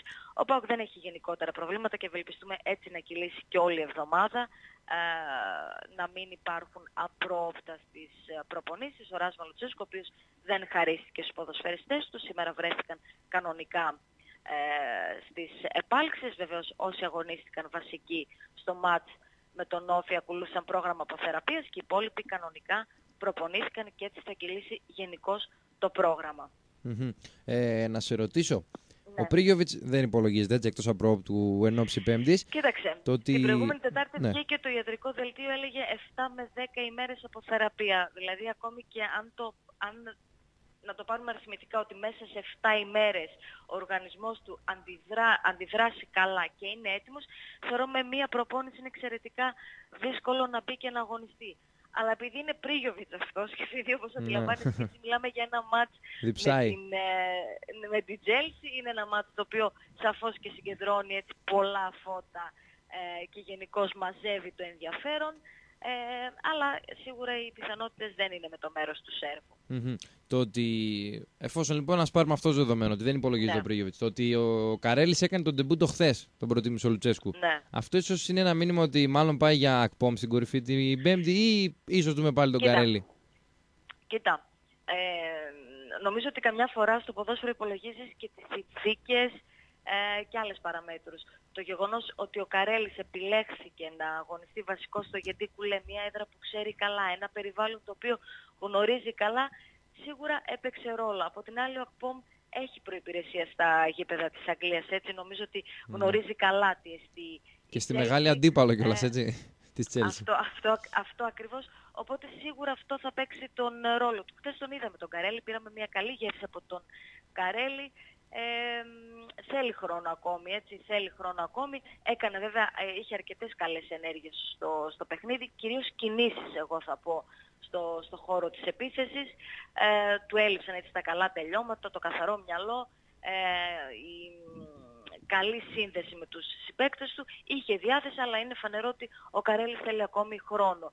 Ε, θα δούμε μέσα από τις προπονήσεις ποιος από τους δύο θα προτιμηθεί, αλλά τώρα αν θέλεις να κάνουμε έτσι μια ε, φιλολογική συζήτηση ε, και να μιλήσουμε με πιθανότητες, εγώ θα έδινα προβάδισμα στον Ακπόμ. Στον ακπόμ. Είναι Επίσης. λόγω της... Ναι. Ε, Και ναι, καθα- καθαρά, καθαρά λόγω της ε, ε, προϋπηρεσίας εντός εισαγωγικών στην Αγγλία, του, του γεγονότος ότι ξέρει καλά πώς ε, λειτουργούν ε, οι συγκεκριμένες ομάδες στο γήπεδο, έχει παραστάσεις από Τσέλσι, όπως και να το κάνουμε πολύ περισσότερες από οποιονδήποτε άλλο, ενδεχομένως τον Καρέλη εδώ που μιλάμε, βέβαια εξαρτάται και από την κατάσταση και από το πώς δείχνει ο καθένας τους στις προπονήσεις, έτσι. Ε, βέβαια. ποιος κουμπώνει καλύτερα στον Λουτσέσκου και ποιος φαίνεται ότι το θέλει περισσότερο να πάρει φανέλα βασικού. Αυτά είναι κάτι το οποίο θα εξετάσει ο προπονητής του ΠΑΟΚ ε, από αύριο κιόλας που θα αρχίσει να δουλεύει τακτική και να δουλεύει το πλάνο του για το μάτι της Πέμπτης. Αλλά Ναι. έτσι μια πρώτη ανάγνωση του θέματος νομίζω ότι εγώ θα πάω με ακπόμ. Μμμ. Επίσης ήθελα να σε ρωτήσω το ότι ο Λιμιός Ναι. έμεινε εκτός αποστολής και ο Χατσερίδης. Ε, υπάρχει η απώλεια του Μάτος που είναι τιμωρημένος ε, λόγω της απαβολής Ναι. με Μπενφίκα. Αυτά ίσως ε, ή- δείχνουν και τα πλάνα του Λουτσέσκου για το πώς θέλει να διαχειριστεί το rotation γιατί προφανώς θα κάνει και rotation. Σαφέστατα. Σαφέστατα, σαφέστατα. Ε, και νομίζω ότι το παιχνίδι, ε, και ο Πέλκας που δεν αγωνίστηκε, Ναι. έτσι, ναι, μεν ακολούθησε την αποστολή, αλλά δεν αγωνίστηκε. Και ο Μπίσης Βαρτόρα πώς να βγει από την δεκάδα μετά από τέτοια εμφάνιση; Κοίταξε, είναι, δεν είναι πώς να βγει. Για μένα είναι παιχνίδια που σκουμπώνουν. Δηλαδή σε μια τέτοια έδρα Ναι. όπως το Γεντίκου λένε, σε ένα κλειστό παιχνίδι με λιγοστές φάσεις, ε, του ταιριάζουν του Μπίσες Βαρ τέτοια παιχνίδια. Νομίζω ότι είναι, ε, είναι το μυαλό, είναι, δηλαδή το Ποιότητα, παρατζούκλι ποιότητα. μαέστρος, η αρχιτέκτη, ναι, είναι αυτή η ποιότητα, η κλάση του να διαβάζει το παιχνίδι, να μπορεί να βρίσκει διαδρόμους, να μοιράζει. Δύο assist είχε. Έτσι θα μου πεις το ένα είναι, ήταν από κόρνερ, δεν έχει σημασία, αλλά η φάση στο τρίτο γκολ με το Ζαμπά, το πώς το διαβάζει ο Ολλανδός και μπαίνει μέσα και με πολύ μεγάλη ευκολία ε, σερβίρει για τον Ζαμπά, είναι ενδεικτικό της κλάσης του, της σκέψης του, το πώς κινείται μέσα στο παιχνίδι, έτσι, ε, σε ζώνη άμυνας και πώς μπορεί και ανοίγει διαδρόμους.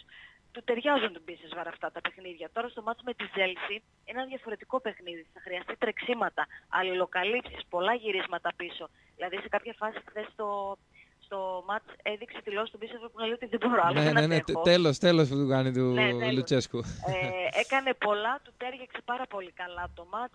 Ε, αυτός είναι ο Μπίσης. Νομίζω ότι δεν έκανε σε κανέναν εντύπωση του τι έκανε και του τι πέτυχε ο Λανθός. Αυτά τα μάτς κουμπώνουν και ο ίδιος κεντάει σε τέτοια μάτς. Νομίζω ότι είναι πολύ διαφορετικό το μάτς με την Chelsea ε, και αυτό το πώς τον βγάζεις είναι λίγο για μένα ερώτηση παγίδα γιατί ε, κάθε παιχνίδι έχει, ζητά, θέλει άλλα πράγματα. Έτσι θα πρέπει Σαφώς, ναι, ναι, ναι. ε, να κάνεις άλλη σύνθεση χαρακτηριστικών των ποδοσφαιριστών σου. Μμμ. Οπότε Νομίζω φαντάζομαι ότι από σε αύριο θα τέτοια αρχίσει να παιχνίδια ξεκαθαρίζει. Ναι. Σε, σε τέτοια παιχνίδια σίγουρα θέλεις έτσι αντοχές, θέλεις τρεξίματα, ε, τρομερές αλληλοκαλύψεις, μαρκαρίσματα, γιατί Ε, ο Πέλκας Ε, νομίζω θα αυτό- επιστρέψει οπότε στην δεκάδα που μπορεί να τα Ναι. δώσει όλα αυτά στο χώρο του κέντρου. Και μετά εντάξει, το μεγάλο ερωτηματικό είναι στην άμυνα γιατί είναι δεδομένη η απώλεια του Μάτος. Οπότε τώρα εκεί ή θα δούμε τον Ε. Κίτσκιου φαντάζομαι ή Χατσερίδης ίσως επειδή έμεινε εκτός για να, και να πάει ο Βιερίνια δεξιά και ο Κρέσπο αριστερά. σω δούμε τον Τόσκα.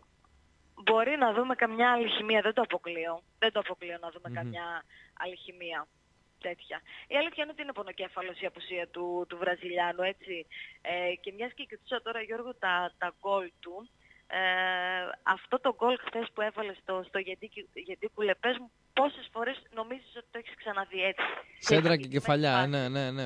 Τα περισσότερα ναι, γκολ του ναι. είναι με κεφαλιές στην περιοχή. Σε μια στατική φάση να σημαδεύει κάποιος τους ψηλούς, τα ψηλά κορμιά τους αμυντικούς, κάπου στο δεύτερο δοκάρι να βγαίνει ή ο Βαρέλα ή ο ε, Μάτος, κεφαλιά και η μπάλα μέσα στα δίχτυα, έτσι. Ναι. Νομίζω ότι για μένα χθες ήταν ντεζαβού αυτό. Έτσι, όντως, ε, έχει δώσει πολλά γκολ έτσι ο Βραζιλιάνος. Βέβαια να πούμε ότι υπάρχουν πληροφορίες ότι μιας και μιλάμε για το παιχνίδι στο, στο Γεντίκουλε ότι μ, παραπέμφθηκαν ο διαιτητής Διαμαντόπουλος και ο βοηθός Αλεξίας για το πέναλτι το οποίο δεν δόθηκε στον uh, Πάουκ στην αναμέτρηση με τον Όφη και βεβαίως μιλάμε για τη φάση στο τρίτο λεπτό της αναμέτρησης και στο γκρέμισμα του Ζαπά εντός περιοχής. Που δεν μπορεί να από μην το τον είδε έτσι. Και αν όχι ο Τρέζα. Διαμαντόπουλος που ήταν πιο μακριά, δεν μπορεί ο Αλεξέας εκεί ο πρώτος βοηθός να μην το είδε. Που είναι ακριβώς μπροστά του η φάση. Και Έχω- τώρα τη έχω δείχνουν και την σε replay εντύπωση- έχω στην την- Αθλητική έχω την Κυριακή. Έχω εντύπωση- μπροστά μου στην ΕΡΤ. Και δηλαδή τη βλέπεις, ξαναβλέπεις τη φάση, λες δεν μπορεί να μην το είδε. Έχω την εντύπωση ότι ο Διαμαντόπουλος περίμενε από τον Αλεξέα. Δηλαδή, ε, χωρίς να θέλω να βγάλω κανέναν από τον κάδρο ευθυνών, ότι περισσότερο η φάση βαραίνει ξεκάθαρα τον Αλεξέα. Ε, ναι, γιατί είναι μπροστά. Γιατί, ναι, γιατί είναι ακριβώς μπροστά, γιατί δεν γίνεται να μην το είδε. Ο διαιτητής είναι από πίσω και νομίζω ότι από το πλάνο της τηλεόρασης φάνηκε ότι τον περιμένει για να δει τι θα δείξει. Άρα, αν θέλεις, ο, Διαμαντό... ο Αλεξέας πήρε στο λαιμό του και τον Διαμαντόπουλο ε, και βγαίνουν αυτές οι πληροφορίες έτσι τις τελευταίες Θα ώρες. παραπεμφθούν. Ο Στρέζος ο οποίος μίλησε και είπε ότι δεν έχει εικόνα ε, δεν έχει ξαναδεί την επίμαχη φάση, την πολύ συζητημένη φάση και δεν έχει εικόνα. Ε, θα μου πεις κανείς κρίνεται από αυτά τα οποία κάνει και λέει, έτσι, από τη Ε, στιγμή ναι. που υπήρχε επαφή, δεν μπορεί να μην δεν το είδε, δεν μπορεί να μην κατάλαβε την, ε, την Προφανώς, επαφή. προφανώς. Δεν, δεν, δεν ήθελε να σχολιάσει κάτι.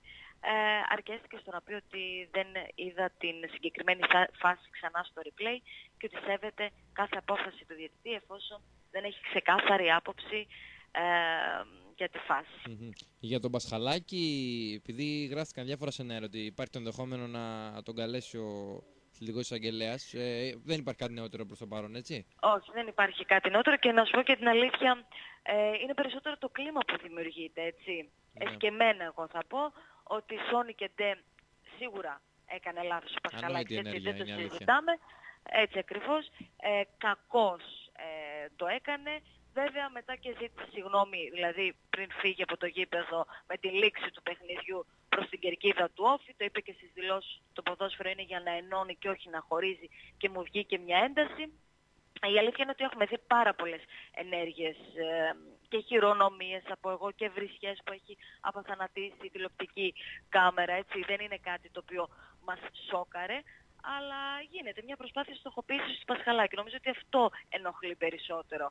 Ε, ναι, έκανε λάθος ο Πασχαλάκης, ναι, ζήτησε συγγνώμη ο Πασχαλάκης. Από εκεί και πέρα ε, συμβαίνουν αυτά στο ποδόσφαιρο, κακώς γίνονται. Ναι, δεν αλλά χρειάζεται είναι να ένα πάρει μέρος τόσο του μεγάλη έκταση το ναι, θέμα και να... και δεν χρειάζεται μηδιακά, δηλαδή αυτό είναι που εξοργίζει περισσότερο τον κόσμο και εγώ το καταλαβαίνω, να πιέζουν καταστάσεις γιατί ακολουθεί μάτς με ΑΕΚ, ακολουθεί με Ολυμπιακό, ότι Σόνι και Ντε πρέπει να κληθεί για απολογία και να τιμωρηθεί ο Πασχαλάκης. Μμμ. Έτσι νομίζω ότι η δυσαρέσκεια και οι παρατηρήσεις των ανθρώπων του ΠΑΟΚ στον Έλληνα Πορτιέρε για την χειρονομία του και για την αντίδρασή του σε μια έδρα που ε, υπάρχουν αν θέλεις καλές σχέσεις. Έτσι είδαμε και τον κόσμο του ΠΑΟΚ κανονικά να βρίσκεται εκεί δίπλα στην ομάδα του. Δεν χρειάζονται ε, και δεν υπάρχει λόγος να δυναμητήσει κανείς το, το κλίμα. Ναι. Έτσι, ωραία, Ελένη. Δεν ξέρω αν υπάρχει κάτι άλλο από το ρεπορτάζ. Όχι, νομίζω ότι από, από αύριο μπαίνω σε μια πολύ ωραία εβδομάδα, Γιώργο. Ναι, έτσι, ποδοσφαιρική, καθαρά, άκρος ποδοσφαιρική. Πο- πο- ποδοσφαιρική, ναι, ναι, ναι, ακριβώς Ωραία. και θα έχουμε πολλά περισσότερα να, να πούμε.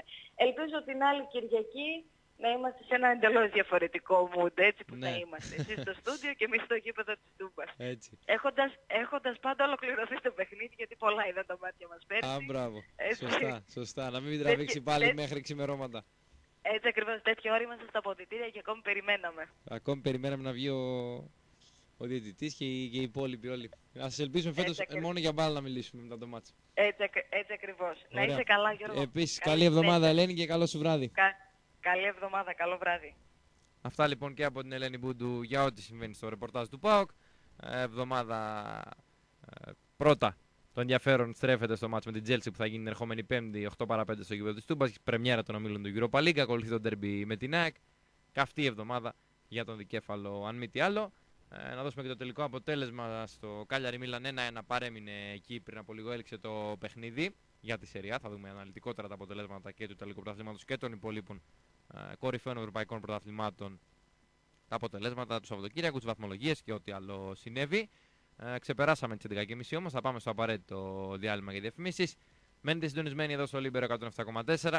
Στη συνέχεια θα έχουμε περισσότερα και για την φιλική ήττα του Άρη από τον Ήφαιστο Λήμνου στην πρόβα τζενεράλε πριν το πρώτο επίσημο παιχνίδι της σεζόν, το ματς για τα προκριματικά του Basketball Champions League με την Αμοτιφλίδα. Θα μας πει περισσότερα και ο Σταμάτης Μουρελής ε, αμέσως μετά το break. Οπότε μένετε εδώ στο Λίμπερο με την εκπομπή Post Game. Πάμε στο break και επιστρέφουμε. Επιστρέψαμε εδώ στο Post Game. Ε, δεύτερη ώρα της εκπομπής, οδεύουμε προς το φινάλε δεύτερης ώρας με Γιώργο Παναγιωτίδη στο μικρόφωνο και Βασίλη Καβαδία στη ρύθμιση του ήχου. Είδαμε ό,τι συμβαίνει και στο ρεπορτάζ του ΠΑΟΚ. Ε, βλέπω και δηλώσεις Σάββα Θεοδωρίδη. Ο Ολυμπιακός έχει υπερομάδα. Άρχισαν τα όργανα και ακόμη δεν ξεκίνησαν τα ντέρμπι στην ε, Super League. Ο γνωστός αγαπημένος Σάββας Θεοδωρίδης με τις γνωστές δηλώσεις του. Θα πάμε όμως τώρα να δούμε τι συμβαίνει στο στρατόπεδο του Άρη, εκεί όπου υπάρχει μεγάλη προσμονή για το αυριανό παιχνίδι με τον Λεβαδιακό. Ε, θα καλησπερίσουμε τον Νίκο Βαδόπουλο, ο οποίος είναι στην τηλεφωνική μας γραμμή. Καλησπέρα, Νίκο. Δεν τον έχουμε ακόμη; Όχι. Σε δύο λεπτάκια τον έχουμε τον Νίκο Παπαδόπουλο, δεν βιαζόμαστε. Εδώ είμαστε. Post Games στο Λίβερο 107,4. Ε, θα περάσουμε σε πολύ πολύ λίγο λοιπόν σε Νίκο Παπαδόπουλο για να μας μεταφέρει ό,τι συμβαίνει στο κυτρινό μαύρο ρεπορτάζ, όλα τα τελευταία νέα του Άρη πριν από το σημαντικό αυριανό παιχνίδι με το Λεβαδιακό στο Κλεάνθης Βικελίδης στις 7 το μάτς με το οποίο πέφτει η αυλαία της τρίτης αγωνιστικής στη Super League ο Άρης που θα κυνηγήσει την τρίτη διαδοχική νίκη τους στο ξεκίνημα αυτό του πρωταθλήματος για να διατηρήσει το απόλυτο των επιτυχιών και να παραμείνει στην κορυφή του βαθμολογικού πίνακα εκεί όπου απόψε βρίσκονται οι Άκη Ολυμπιακός έχοντας από 9 βαθμούς τους οποίους θα επιδιώξει να φτάσει και ο Άρης με νίκη αύριο κόντρα στον ε, Λεβαδιακό. Να μας πει και κατά πλάνα του Πάκο Ερέρα ο Νίκος Παδόπουλος. Με το Σιώπη στην αποστολή Κιτρινό Μαυρί, δεν ξέρω αν θα πάρει χρόνο. Ε, αν θα έχει αλλαγές η 11 σχέση με το τελευταίο μάτσο πρωταθλήματος κόντρα στην ΑΕΛ. Με το 2 στα 2. Ε, τι περιμένουμε να δούμε. Είχαμε και κάποιες φωτογραφίες που κυκλοφόρησαν από την ε, νέα εικόνα των αποδητηρίων του Κλέανδης Βικελίδης ε, με το σήμα του Άρετζη. Πολύ εντυπωσιακή εικόνα μετά την ανακαίνιση που έγινε εκεί, μετά τα βελτιωτικά έργα. Στη Σταμάτη Μουρελή για την ε, φιλική στο μπάσκετ του Άρη από τον Ήβε στο Λίμνο. Θα τον έχουμε αμέσως μετά τον Νίκο Παδόπουλο για να μάθουμε τι έγινε και σε εκείνο το παιχνίδι στο Νίγκαλις Χολ σήμερα το απόγευμα. Την ήττα αυτή των κυτρινόμαυρων από την ομάδα της Λίμνου, η οποία ήρθε για φιλικά του Σαββατοκύριακο στη Θεσσαλονίκη και κέρδισε και Παοκιάρη μέσα σε δύο μέρες. Θα στείλε και μήνυμα εν ώψη πρωταθλήματος. Ε, να δούμε τι σημαίνει λοιπόν και στο μπάσκετ του Άρη στην πορεία.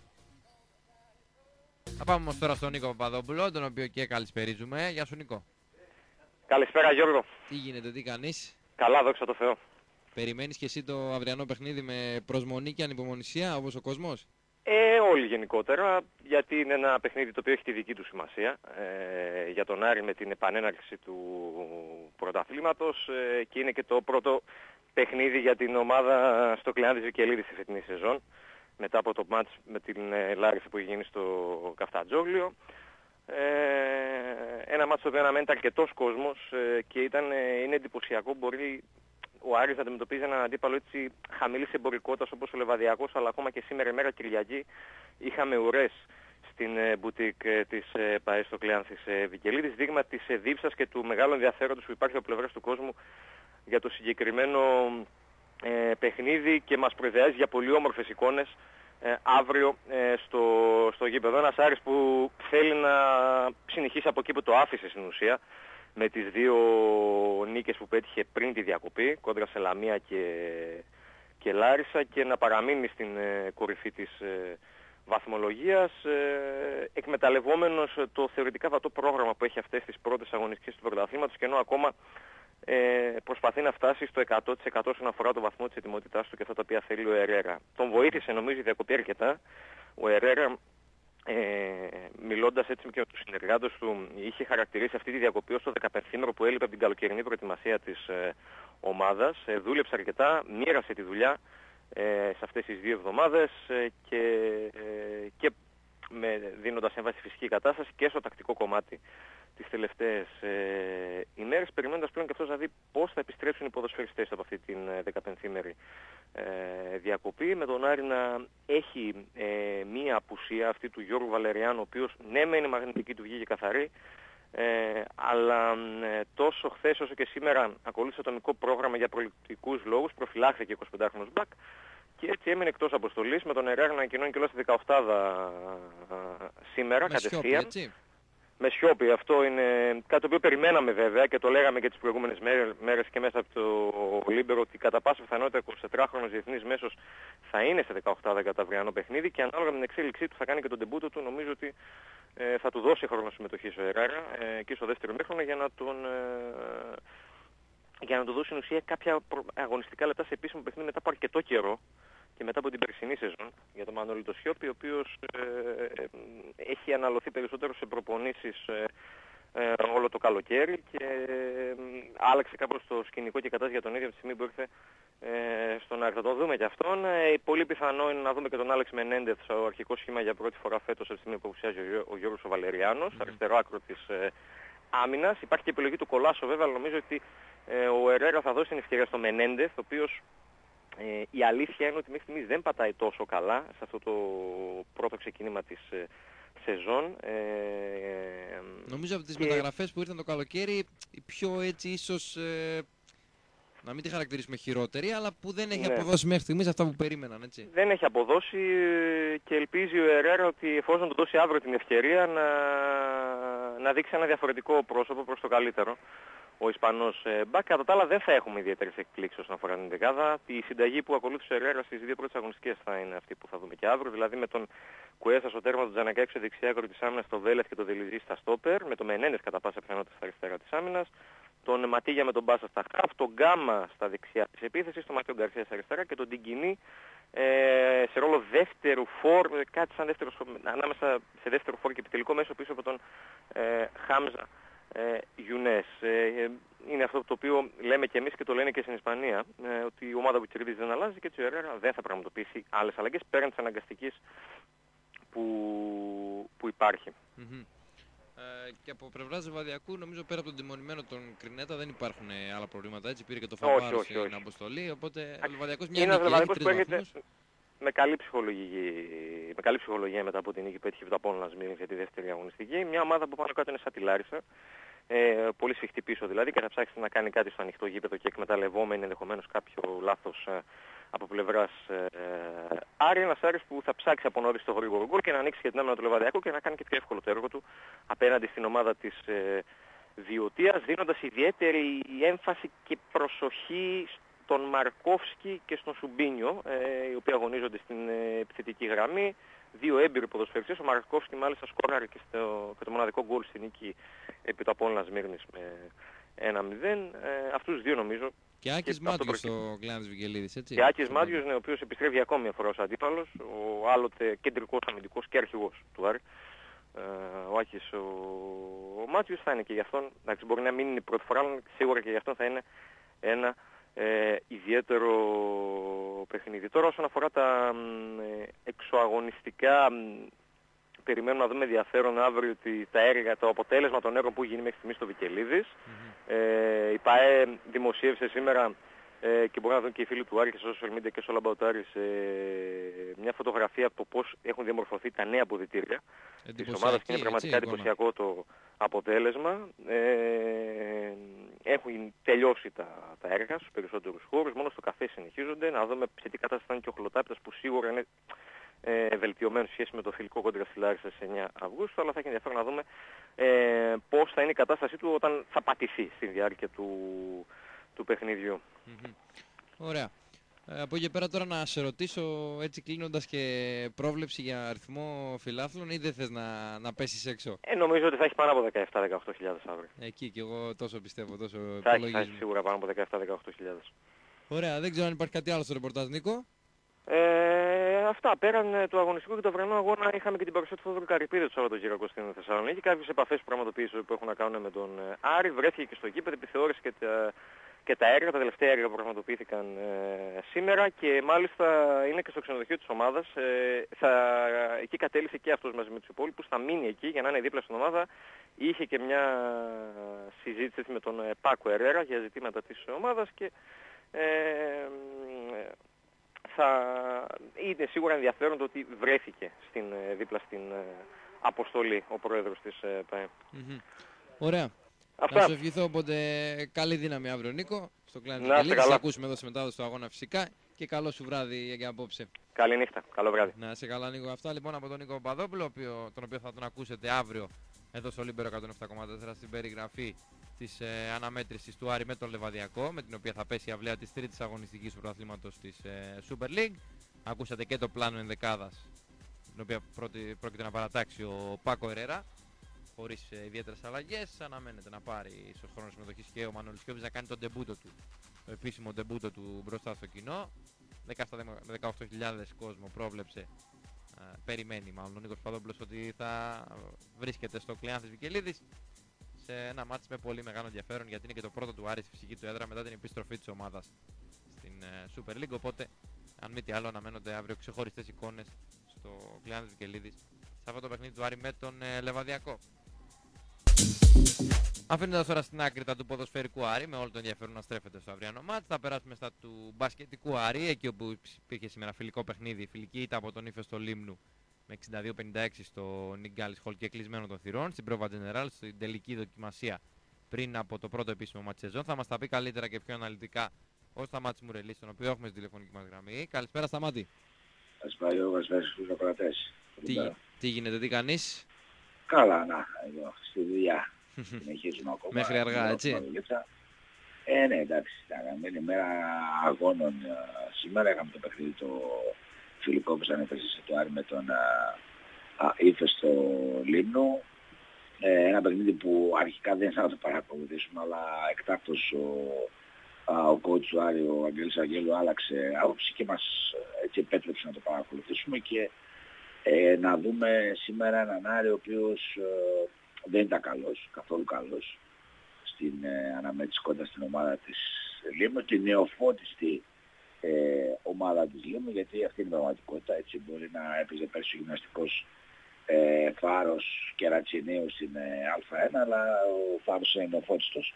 Παρ' όλα αυτά βέβαια, λόγω της οικονομικής επιφάνειας του κ. Μπούμπρα που ε, είναι αυτός που έχει την ομάδα, ε, διαθέτει ένα πολύ καλό ρόστερ με μια γεμάτη ε, ομάδα έτσι και παίχτες με αρκετά ε, ακ- ακριβά θα λέγαμε συμβόλα. Αυτό βέβαια δεν σημαίνει ότι παίρνουν τα λεφτά μπάσκετ. Έτσι και ο Άρης έχει βέβαια. μια πολύ καλή ομάδα. Ε, έχει μια καλή ομάδα, πολύ καλή, δεν θα μπορούμε να την πούμε ακόμα γιατί δεν την έχουμε δει να παίζει πολύ καλά.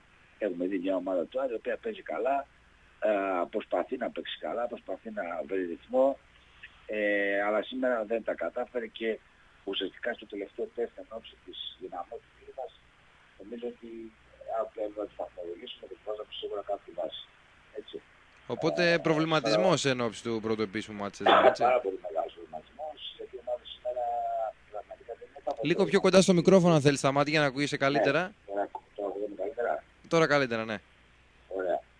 Ωραία. Ε, δεν είναι τόσο το γεγονός ότι ο Άρης έχασε ή ότι ε, βρέθηκε να χάσει ακόμα και με 20 πόντους κάποια στιγμή του παιχνιδιού. Ε, είναι η γενικότερη εικόνα και συμπεριφορά της ομάδας, έτσι, στο σημερινό παιχνίδι. Ε, αυτό είναι νομίζω προβληματίζει περισσότερο και τον Αγγέλο και όλους γύρω από την ομάδα. Ε, το γεγονός ότι ο Άρης, ε, αν εξαιρέσει κάποιος ε, λίγο το τελευταίο τε, δεκάλεπτο που ε, εκεί ο Άρης λίγο πίεσε αμυντικά, κατάφερε να ε, έτσι μπερδέψει λίγο τον φάρο και να μπορέσει να, να μειώσει τους κόμπια προσωπικής ενέργειας των παιχτών του. Γενικά ο Άρης ομαδικά έδειξε πολλές ελλείψεις και πολλά κενά. Έτσι, είτε στην Μμμ. ε, επίθεση είτε στην άμυνα. Την επίθεση το περιμέναμε σε έναν βαθμό, αλλά σε τόσο. Έτσι, ομαδικά το πρόβλημα στην επίθεση είναι πάρα πολύ μεγάλο. Ε, ξέραμε από την αρχή, όταν χτίστηκε η ομάδα του Άρης είναι μια ομάδα με λογική αμυντική. Έτσι δεν είναι ομάδα που θα σου βάλει 90 και 80 πόντους, είναι ομάδα που θα σου βάλει 65 και θα κερδίσει. Ναι. Ε, αλλά δυστυχώς ο Άρης δυσκολεύεται να φτάσει ε, ακόμα και στους 50. Έτσι, δηλαδή τώρα σε φιλικό όταν βάζεις 56 πόντους σήμερα και γενικά στα φιλικά σου όλα έχεις κάτω από 75 πόντους, ε, τα πράγματα δείχνουν ότι υπάρχει πρόβλημα. Μεγάλο. Μπορεί αμυντικά δηλαδή να κρατάς έναν αντίπαλο όπως σήμερα στους 62 πόντους στον ύφεστο, αλλά ο Άρης με δυσκολία έφτασε στους 56 πόντους. Δεν είναι δηλαδή ότι ε, κατάφερε να μπορέσει ε, να φτάσει εύκολα σε αυτό το νούμερο και να χάσει ας πούμε στο τέλος μια-δυο φάσεις. Έτσι. Ε, νομίζω ότι αυτό προβλημάτισε πάρα πολύ τον, ε, τον Αγγέλο, ο οποίος μετά το τέλος του αγώνα μίλησε τους ε, παίκτες του Άρη ε, στα αποδητήρια για αρκετή ώρα ε, τους μίλησε και τους είπε κάποια πράγματα ε, γιατί και αυτός είναι προβληματισμένος από την ε, απόδοσή τους. Έτσι. Τώρα τι Ε, προλαβαίνει να αλλάξει μέχρι την Πέμπτη. Την Πέμπτη δεν είναι το παιχνίδι; Ε, την Πέμπτη να το πω το παιχνίδι, αποστολή που την Τετάρτη για την, α, ε, για την Τυφλίδα. Ε, και δεν δεν ξέρω αν μπορεί να αλλάξει τα πράγματα. Ο Άρης θα πάει ε, με την όπλο την άμυνα και πάλι στην ε, Τυφλίδα. Εντάξει, η Δυναμό δεν είναι κάτι ιδιαίτερο, μην την κάνουμε και ομαδάρα, δεν είναι Ναι. κάτι ιδιαίτερο η Δυναμό. Είναι μια ομάδα η οποία σαφέστατα είναι στις δυνατότητες του Άρη. Από εκεί πέρα ε, όλοι, το, α, όλοι σκέφτονται ότι ο Άρης θα περάσει την, α, την ε, Δυναμό. Ε, σκέφτονται το επόμενο, την Ίσνη. Το Έτσι. πιο δύσκολο Ότι κιόλας εκεί είναι έτσι. το μεγάλο πρόβλημα.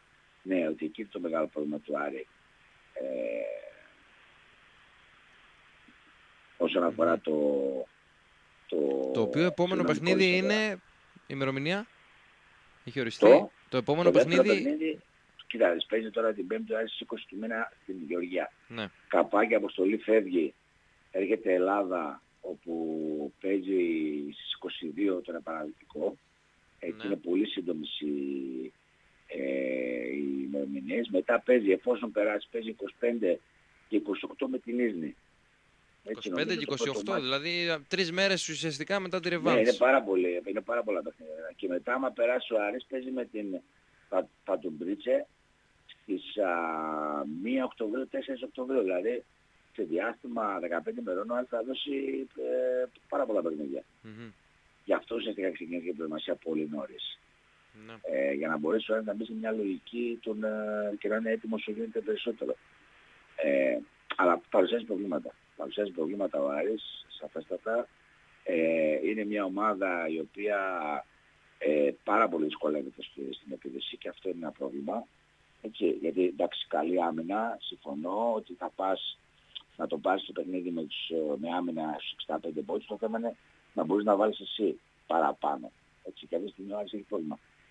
Ε, νομίζω ότι εντάξει, σίγουρα θα δείξει διαφορετικό πρόσωπο πιστεύω με την ε, δυναμό της Φλίδας.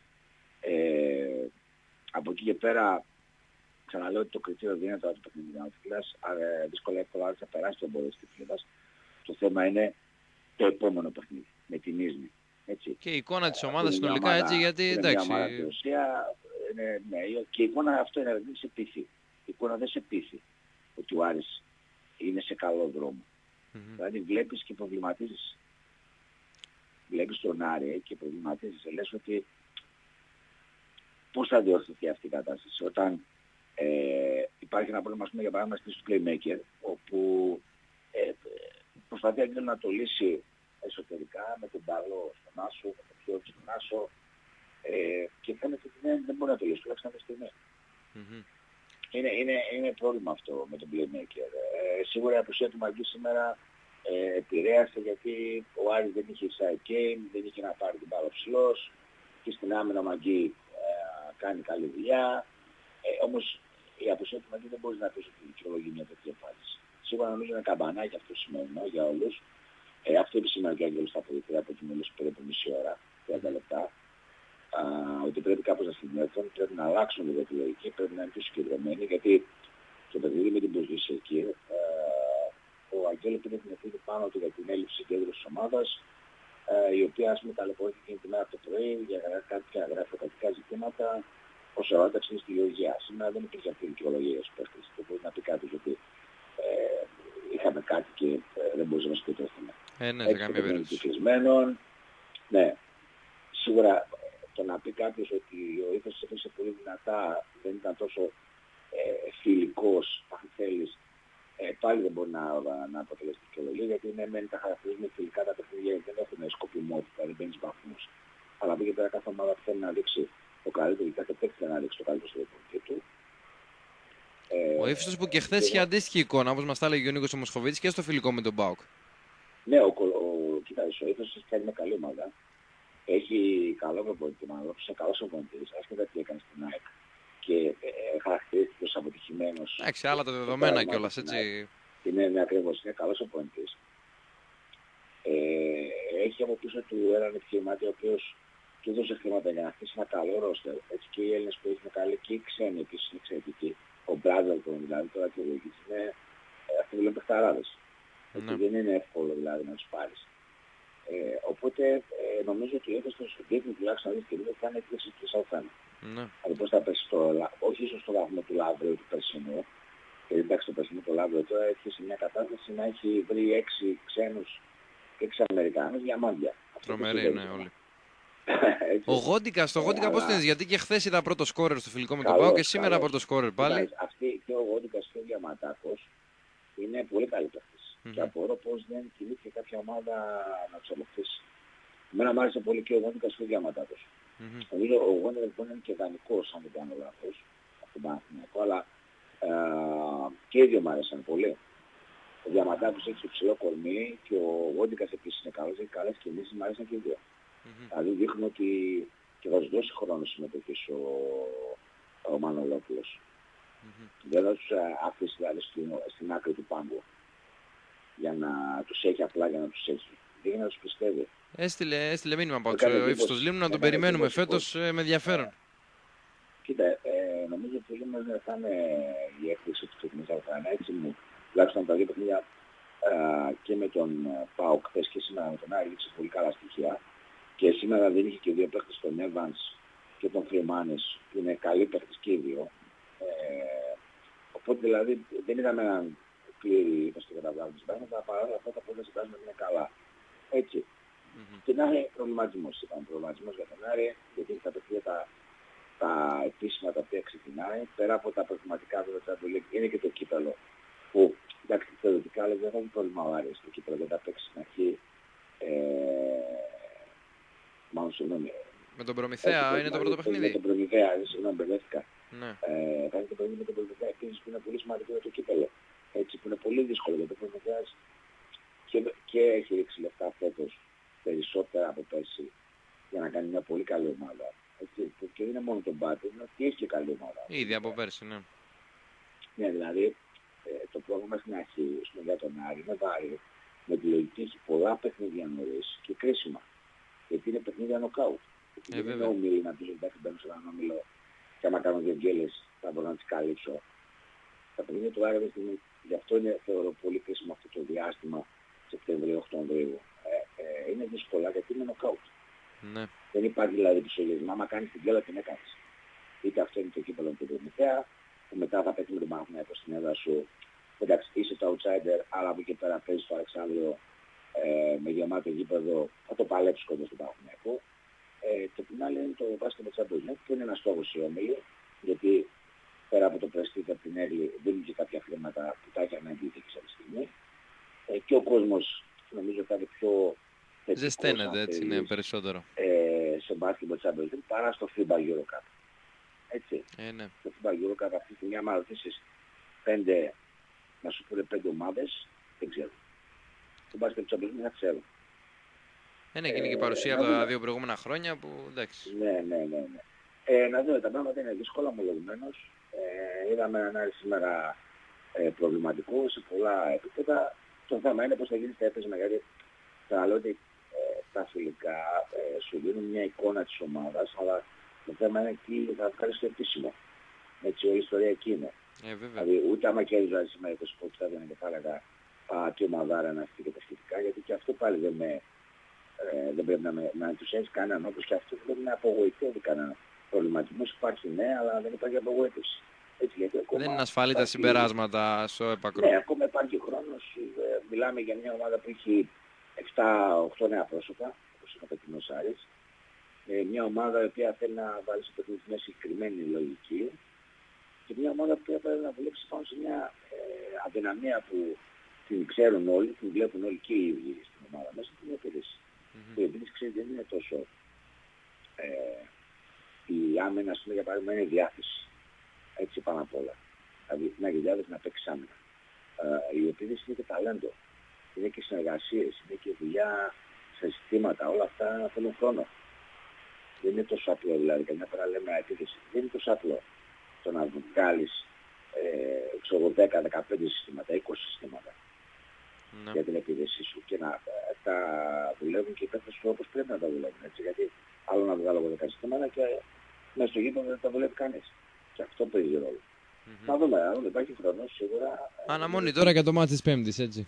Ναι, ε, την Πέμπτη νομίζω ότι θα παίξει καταρχήν το που δεν θα παρουσιάσει πλήρως ο Άρης και ο Μαγκή που για κάποια θεματάκια σήμερα και δεν έπαιξε ε, θα ταξιδέψει και λογικά θα είναι στην ε, διάθεση του Αγγέλου. Τώρα ανάλογα με το μάτς θα δει ο coach να το χρησιμοποιήσει. Ε, νομίζω ότι με την Κυκλίδα, εντάξει, εγώ σε δύσκολα γιατί το Άρης θα περάσει. Από εκεί δεν ε, φαντάζει, βέβαια και για μας είναι άγνωστη η, τη Φιλίδα από την άλλη. Δεν φαντάζομαι σε ένα μεγάλο ε, μεγαθύριο. Ίσως μέσα από αυτά τα δύο επίσημα ο Άρης βρει ρυθμό που τον έχει ανάγκη σε αυτή την περίοδο, βρει ρυθμό για να μπορέσει να, να κάνει κάτι καλό. Να ρολάρει στο περισσότερο, ναι. Ναι. Ωραία. Σταμάτη να σε ευχαριστήσω πολύ, να σου Κα- ευχηθώ καλή συνέχεια. καλό βράδυ, καλή μέρα, καλή εβδομάδα έτσι που ξεκινάει από Καλή αύριο. εβδομάδα, ναι, ναι. Να είσαι καλά, καλή συνέχεια. Αυτά λοιπόν από τον ε, Σταμάτη Μουρελή για την σημερινή φιλική ήττα του Άρη από τον Ήφεστο Λίμνου με 62-56 στον Νίκ Γκάλις Χολ και κλεισμένο των θυρών σε αυτό το φιλικό παιχνίδι και τον προβληματισμό κυρίως που έτσι, ε, έχει προκαλέσει η εικόνα της ομάδας του Βαγγέλη Αγγέλου εν ώψη του πρώτου επίσημου αγώνα της σεζόν που πλησιάζει την ερχόμενη Πέμπτη με την Δυναμό στην Τυφλίδα για τα προκριματικά του Basketball Champions League. Ε, ενώ έχουμε ξεπεράσει τις 12 ε, για 7 λεπτά και θα πάμε σε ακόμα ένα break και θα επιστρέψουμε να δούμε τι έχει συμβεί όλο το Σαββατοκύριακο στο διεθνή χώρο με αποτελέσματα, βαθμολογίες από τα μεγάλα πρωταθλήματα. Ε, να δούμε και για τον ε, έξαλλο με τη διετησία Βαγγέλη Μαρινάκη που κατέβηκε για άλλη μια φορά ε, στον αγωνιστικό χώρο στο σημερινό μάτι του Ολυμπιακού με τον Αστέρα Τρίπολης. Και να ανοίξουμε και γραμμές, να ακούσουμε και τις δικές σας απόψεις και τα δικά σας σχόλια για ό,τι είδατε αυτό το Σαββατοκύριακο και ό,τι περιμένετε να δείτε ε, και την, μέσα στην εβδομάδα, αρχίζει γενομένης από αύριο και από το μάτι του Άρη με το Λεβαδιακό στο 2310-287-888. Αμέσως μετά το break, πάμε Βασιλή και επιστρέφουμε. Εδώ είμαστε, επιστρέψαμε. Post game μέρος τελευταίο για απόψε. Περίπου 20 λεπτά και μετά τις 12. Ε, ξημερώματα Δευτέρας, αν θέλετε. Μιας εβδομάδας γεμάτης ποδόσφαιρο. Αύριο αρχίζει γενομένης με το μάτι του Άρη με το Λεβαδιακό στις 7. Την Τρίτη ξεκινάει το Champions League. Δύο μάτς στις 8 παρα 5 και μεγάλα μάτς. Barcelona Eindhoven με Σιδηρόπουλο, διαιτή να σφυρίζει. Και Ιντερ Tottenham στην επιστροφή της Ιντερ στο Champions League. Πλούζει το μενού και στις 10 με πολλά παιχνίδια. Με το Liverpool που πάρει να ξεχωρίζει. Τετάρτη η πρεμιέρα της ΑΕΚ 8 παρα 5 στην έδρα του Άγιαξ στην Amsterdam Μαρίνα. Και άλλα πολλά ενδιαφέροντα μάτς με το Real Roma εκεί να ξεχωρίζει το βράδυ της Τετάρτης στις 10. Α, Την Πέμπτη το μάτς του Πάουκ με την Chelsea και γενικότερα η πρεμιέρα της φάση των ομίλων του Europa League. Ε, μετά το Σάββατο έχουμε το Πας Γιάννενα Άρης. Ε, την Κυριακή το μεγάλο ντέρμπι την κεφάλων πάω 6 Ντούμπα. Πολύ γεμάτη αυτή η εβδομάδα που έρχεται λοιπόν που ξημερώνει σιγά σιγά ε, από αύριο. Ενώ είμαστε βράδυ Κυριακής ακόμη απόψε εδώ με το post game. Όπως μαζί θα είμαστε κάθε βράδυ Σαββάτου και Κυριακής. Σάββατο Κυριακή 10 με 1 με Γιώργο Παναγιωτήδη στο μικρόφωνο και Βασίλη Καβαδίας στη ρύθμιση του ήχου και στις μουσικές επιλογές. Παρέα θα πηγαίνουμε για να βλέπουμε ό,τι υπάρχει στην αθλητική, επι- ε, αθλητική επικαιρότητα ε, και κυρίως στην αγωνιστική δράση κάθε Σαββατοκύριακο. Έλεγα πριν το διάλειμμα για τον Βαγγέλη Μαρινάκη, ο οποίος ήταν έξαλλος με τη διαιτησία μάλιστα. Ε, Μαρινάκης το ξανά έκανε αυτό και στο μάτς με την Μπέρλινγκ, ήταν ευρωπαϊκό βέβαια. Τον ενόχλησε στα 4 λεπτά των καθυστερήσεων που έδειξε ο ρέφερης στο μάτσο Ολυμπιακού με τον Αστέρα Τρίπολης. Ε, κατέβηκε εκεί κάτω δίπλα από τη Φυσούνα, δίπλα στον αγωνιστικό χώρο. Φαίνεται να εξέφρασε και τα παράπονά του εκεί μετά το δεύτερο γκολ του Ολυμπιακού που μπήκε στο 92. Ε, ωραία, ελληνικά σκηνικά έτσι. Βασίλη του ελληνικού ποδοσφαίρου, εντάξει. Ο καθένας μπορεί να βγάλει τα δικά του συμπεράσματα και να κάνει τα δικά του σχόλια. Να αφήσουμε όμως λίγο τα του ελληνικού ποδοσφαίρου στην άκρη, να πάμε να δούμε τι έγινε αυτό το Σαββατοκύριακο στα πολλά και ενδιαφέροντα παιχνίδια που υπήρχαν στο διεθνή χώρο, στα κορυφαία ευρωπαϊκά πρωταθλήματα. Ξεκινώντας φυσικά από το νούμερο 1 πρωτάθλημα στην Ευρώπη, την Premier League, το αγγλικό πρωτάθλημα. Εκεί όπου είχαμε τη Liverpool το Σάββατο να κερδίζει τότε με 2-1 στο τέρμπι που έγινε στο Webley. Μπόρμουθ Λέστερ 4-2, Chelsea Cardiff 4-1, αντίπαλος του Πάουκ με χάντρικ του Αζάρ έρχεται φουριόζα στην Τούμπα. Χάντερσφιλτ Κρυσταλ Πάλα 0-1, Manchester City Fulham 3-0, Newcastle Arsenal 1-2, Watford Manchester United 1-2 και σήμερα ε, δύο παιχνίδια, Wolves Burnley 1-0 και Everton West Ham 1-3. Αύριο ολοκληρώνεται η πέμπτη αγωνιστική της Premier League με το match Southampton Brighton που θα γίνει στις 10. Και στη βαθμολογία Chelsea και Liverpool οδηγούν την κούρσα έχοντας το 5 στα 5 το απόλυτο εικόν 15 βαθμούς. 13 έχει η Manchester City που έχει κάνει μια γκέλα, έχει μια ισοπαλία. Στους 12 η Watford που μετά το 4 στα 4 στο ξεκίνημα έχασε εντό έδρα από την Manchester United. Για να περάσουμε στη γερμανική Bundesliga, εκεί όπου το βράδυ της Παρασκευής άνοιξε η τρίτη αγωνιστική με την Dortmund να κερδίζει την Eintracht Frankfurt με 3-1. Χθες Σάββατο είχαμε Mainz Augsburg 2-1, Bayern Monaco Bayern Leverkusen 3-1, Lipsia Hannover 3-2, Fortuna Düsseldorf Hoffenheim 2-1, Wolfsburg Hertha Berlin 2-2, Gladbach Schalke 2-1 και σήμερα άλλα ε, δύο παιχνίδια με τα οποία ολοκληρώθηκε και η τρίτη αγωνιστική. Werder Bremen στην Ερεβέργη 1-1 και Freiburg Stuttgart 3-3. Τρίτη αγωνιστική ολοκληρώθηκε λοιπόν σήμερα στην γερμανική Bundesliga. Να ρίξουμε μια ματιά και στο βαθμολογικό πίνακα, εκεί όπου μόνο η Bayern έχει κάνει το 3 3, έχει το απόλυτο νίκον με 9 βαθμούς και είναι μόνη της, την απολαμβάνει τη μοναξιά της κορυφής. Με 7 βαθμούς την ακολουθούν 1, 2, 3, 4, 5, 5 ομάδες. Η Dortmund, η Wolfsburg, η Gladbach, η Hertha Βερολίνου και η Mainz έχουν 2 νίκες και μια ισοπαλία. Στους 7 βαθμούς ακολουθούν την πρωτοπόρο και πρωταθλήτρια Bayern Μονάχου. Και πάμε και Ισπανία μεριά. Ε, και όπου για την τέταρτη αγωνιστική την Παρασκευή είχαμε το West Carajо Βαγεκάνο 0-1. Το Σάββατο Ατλέτικο Μαδρίτη Eibar 1-1. Αγγέλα για τους Ροχιμπλάνκο. Real Sociedad Barcelona 1-2 με ανατροπή στο δεύτερο ημίχρονο. Δύσκολη, δύσκολο πέρασμα με διπλό από το Σαν Σεμπαστιάν ε, για τους Καταλανούς. Μια έδρα που παραδοσιακά τους δυσκολεύει ούτως ή άλλως. Βαλένθια Μπέτη 0-1 επίσης το Σάββατο. Και χθες βράδυ η πρώτη γκέλα της Real στο πρωτάθλημα κόντρα στην Ατέλη Γκουιλμπάου στο Σαν Μαμέ με 1-1, με τον Ίσχο να ισοφαρίζει και να σώζει τουλάχιστον το βαθμό της ισοπαλία για τους Μαδριλένου. Ε, σήμερα Κυριακή είχαμε Λεγανέ Βιγαρεάλ 0-1, Εσπανιόλ Λεβάντε 1-0, Βαγιαδολίδα Λαβές 0-1 στις καθυστερήσει στον γκολ στο 23ο λεπτό και Σεβίλ Χετάφε 0-2, στο μάτς που ολοκληρώθηκε ε, πριν από περίπου 40-45 ε, λεπτά στο τελευταίο της βραδιάς. Αύριο κλείνει η τέταρτη αγωνιστική με το μάτς Τζιρόνα Θέλτα που θα γίνει στις 10 ε, το βράδυ και ρίχνοντας μια ματιά και στον βαθμολογικό πίνακα της Primera Division. Μόνο η Μπαρτσελώνα έχει το απόλυτο 4 στα 4 πλέον, ε, στην κορυφή με 12 βαθμούς. Στους 10 η Real μετά τη χθεσινή της Γκέλα στο Bilbao με 3 νίκες και μια ισοπαλία. Ενώ ε, η Θέλτα που παίζει αύριο στην έδρα της Τζιρόνα ε, μπορεί να πιάσει τη Real στους 10 βαθμούς εάν πάρει την ε, νίκη, το διπλό. Καθώς έχει δύο νίκες, μια ισοπαλία, είναι στους 7 βαθμούς μετά τις τρεις πρώτες αγωνιστικές. Σε 7 έχουν με 4 παιχνίδια όμως οι Εσπανιόλοι, Χετάφε και οι Αλαβές ε, επίσης. Στην Ιταλία και στην Σεριά, στο Ιταλικό Καμπιονάτο, ε, σήμερα είχαμε έτσι ίσως την είδηση της, ε, του Σαββατοκύριακου στο Ευρωπαϊκό Ποδόσφαιρο με τον ε, Κριστιανό Ρονάλντο να ανοίγει λογαριασμό με τη φανέλα της Γιούβε να πετυχαίνει τα πρώτα του επίσημα γκολ. Ε, ο Πορτογάλος Superstar μάλιστα έφτασε τα 400 γκολ. 400 γκολ Βασίλη σε πρωταθλήματα μόνο. Δεν συμπεριλαμβάνουμε τα υπόλοιπα για τις ευρωπαϊκές οργανώσεις. 400 γκολ στην καριέρα τους στο αγγλικό, στο ισπανικό και στο ιταλικό πρωτάθλημα πριν τα δύο που πέτυχε σήμερα. Με Manchester United, Real Madrid και ε, Juventus. Α, ξεχνάω και τη Sporting Lisabona στην ε, πρώτη του ομάδα της επαγγελματικής του καριέρας και στο πρωτογαλλικό πρωτάθλημα λοιπόν.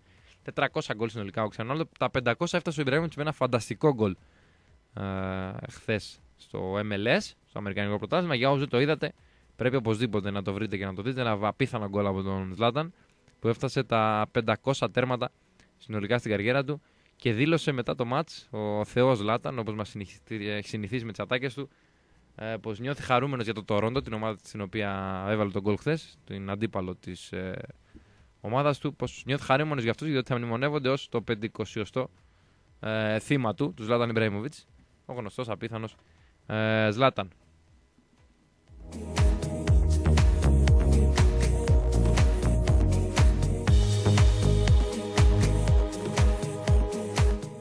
Δούμε τι έγινε στην Ιταλία που πέρα από το σεφτέ του Ρονάλντο που με δύο γκολ οδήγησε την Γιούβε στη νίκη ε, επί της Σασουόλο σε ένα κακό πλευράς θεάματος παιχνίδι. Στις 4 το απόγευμα έγινε σήμερα. Ε, έκανε σεφτέ και ο Γκονζάλο Εγκουάιν με τη φάινλα της Μίλαν.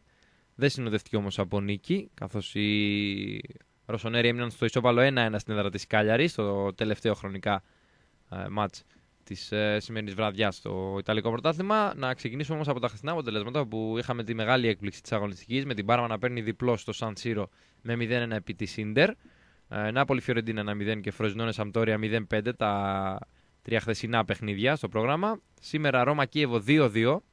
Από 2-0 που προηγήθηκε η Ρώμα στο πρώτο ημίχρονο. Η Κίεβο ισοφάρισε σε 2-2.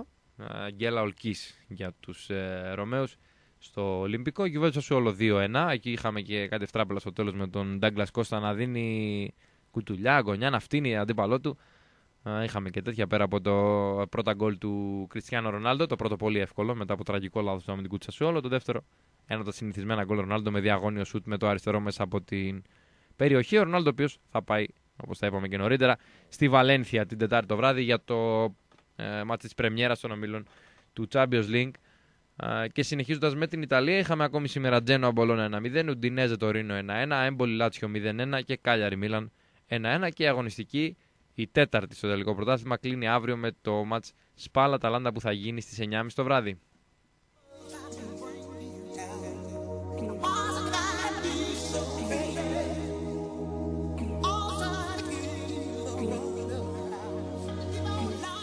Βλέποντας τη βαθμολογία, μόνο η Juve έχει το απόλυτο 4 στα 4 και είναι στην κορυφή με 12 βαθμούς. Ακολουθεί η Νάπολη με 9 βαθμούς, έχοντας ε, τρεις νίκες και μία ήττα.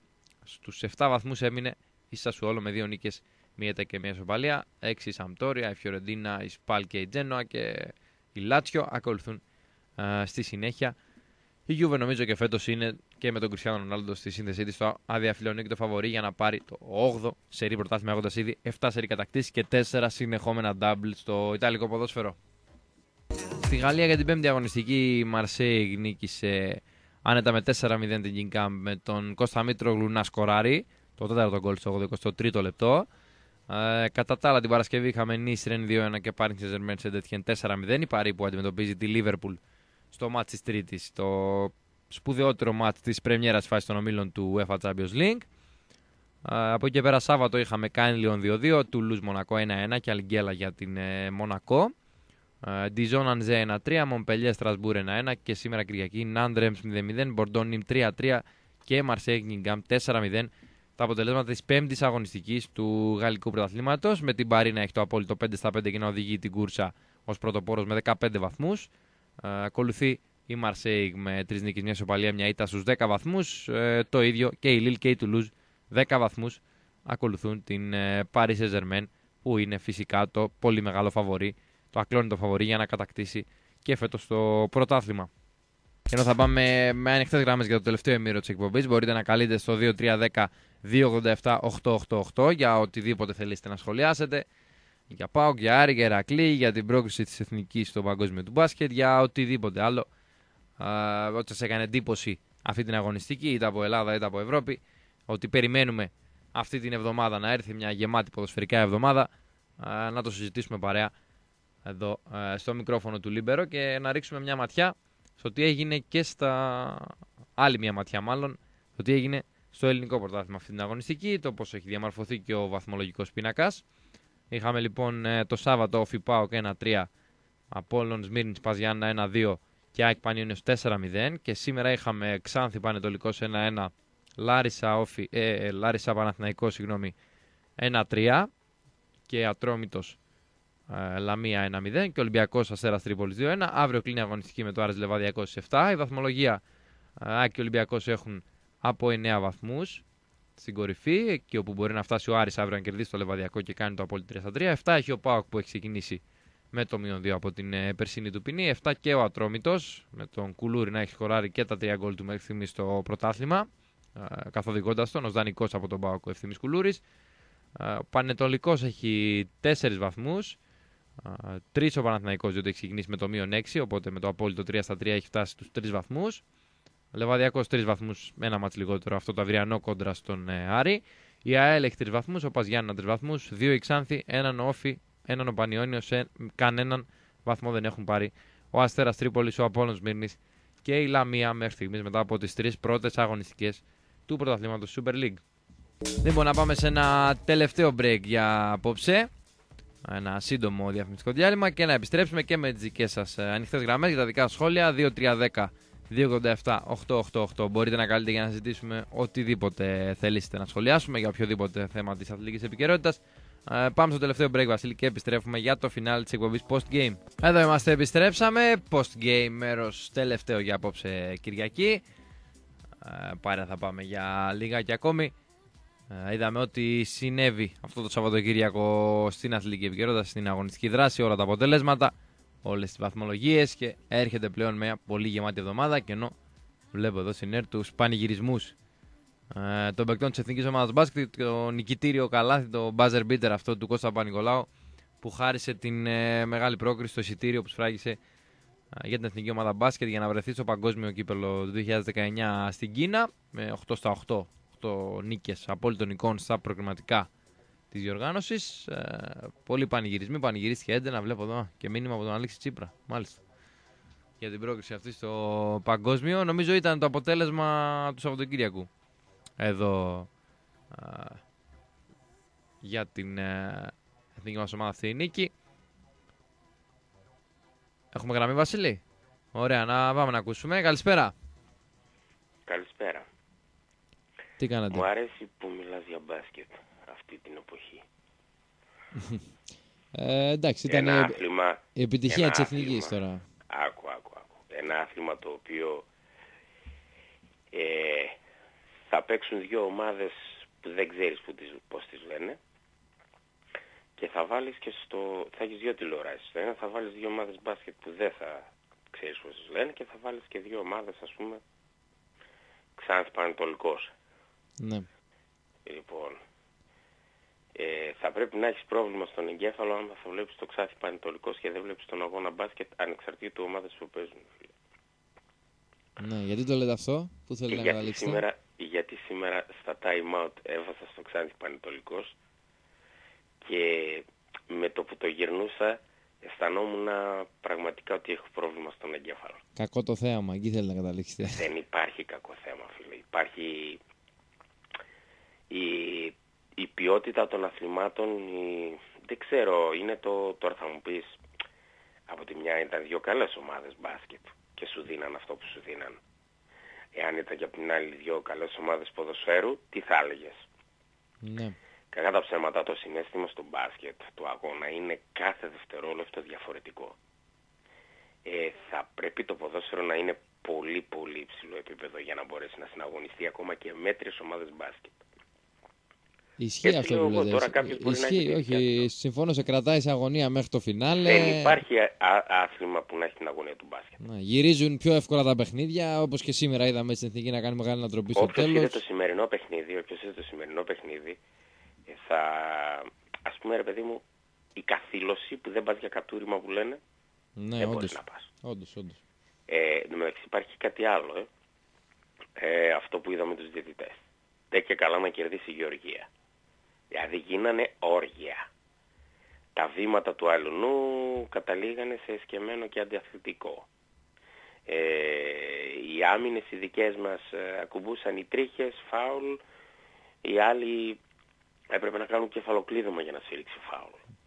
Οι τεχνικές ποινές και βέβαια αυτοί που παρακολουθούσαν το παιχνίδι με, ιδιαίτερο, με ιδιαίτερη παρατηρητικότητα το πάθος του πάγκου της Γεωργίας ο οποίος Έβαλαν πάγκος της πολύ Γεωργίας ένταση είναι- γενικά και το γήπεδο ο οποίος γεμάτο. είναι χωρίς sold out. ελληνικός πάγκος Ναι. της Γεωργίας, είναι ελληνικός πάγκος, Λιμιάτη, Ζούρος Έτσι. και κάτι άλλο. Το πάθος που υπήρχε με εντυπωσίασε. Καλός ο επαγγελματισμός, ναι. Να ήθελα να στείλουν κάποιο μήνυμα στην Ομοσπονδία, λέτε, ίσως δεν ξέρω. Πώς το Δεν ερμηνεύετε. ξέρω κι εγώ, κι εγώ δεν ξέρω, δεν ξέρω. Δηλαδή, τον πινελίκι του Ζούρου σε ένα λάθος κάνανε, ένα λάθος κάνανε σε μια φάση οι διαιτητές υπέρ μας γιατί άμα τα βάλουμε τα λάθη ήταν κάπου 18-2 κάπως έτσι άμα θες να, να, να τα βγάλεις τα θέματα λοιπόν και οι λέξεις οι ελληνικές οι βρισκές ήταν ας πούμε του Ζούρου χαρακτηριστικό ας πούμε Ναι. για κάποιους που παρατηρούσαν. Δηλαδή, εντάξει, έπαιζες δηλαδή, τι να πω το κεφάλι το έπαιζε. Και αφού είναι τόσο καλή ομάδα, πού είναι καλή ομάδα; Στα άλλα τα παιχνίδια γιατί δεν ήταν τόσο καλή; Έπρεπε να το φτάσουν το παιχνίδι εδώ, να ζητήσουν ντε και καλά αυτό το παιχνίδι για να περάσουν. Ε, γουστάρισα πάρα πολύ ο τρόπος με τον οποίο κερδίσαμε, γιατί δεν κερδίσαμε μόνο τη θέληση των αντιπάλων και μιας καλής ομάδος, αλλά κερδίσαμε και αυτούς που δεν τίτευαν. Ναι. Και το χάρισκα δυο φορές. Πραγματικά φώναξα γκολ στην τελευταία φάση. Το φώναξα όμως. Ήταν και ο τρόπος έτσι που ήρθε η νίκη στο Ο τέλος. τρο- Όχι, αυ- όταν αισθάνεσαι την αδικία ρε φίλε, όταν αισθάνεσαι ότι ο άλλος ντε και καλά να χάσεις. Ναι. Ντε και καλά έτσι. Γιατί, γιατί θα πρέπει η Γεωργία ας πούμε, να προχωρήσει, να πάει να διεκδικήσει και στα επόμενα παιχνίδια. Ντε και καλά έτσι. Γιατί για το έτσι. Ε, όχι ρε φίλε. Η μπάλα θα τους τιμωρήσει.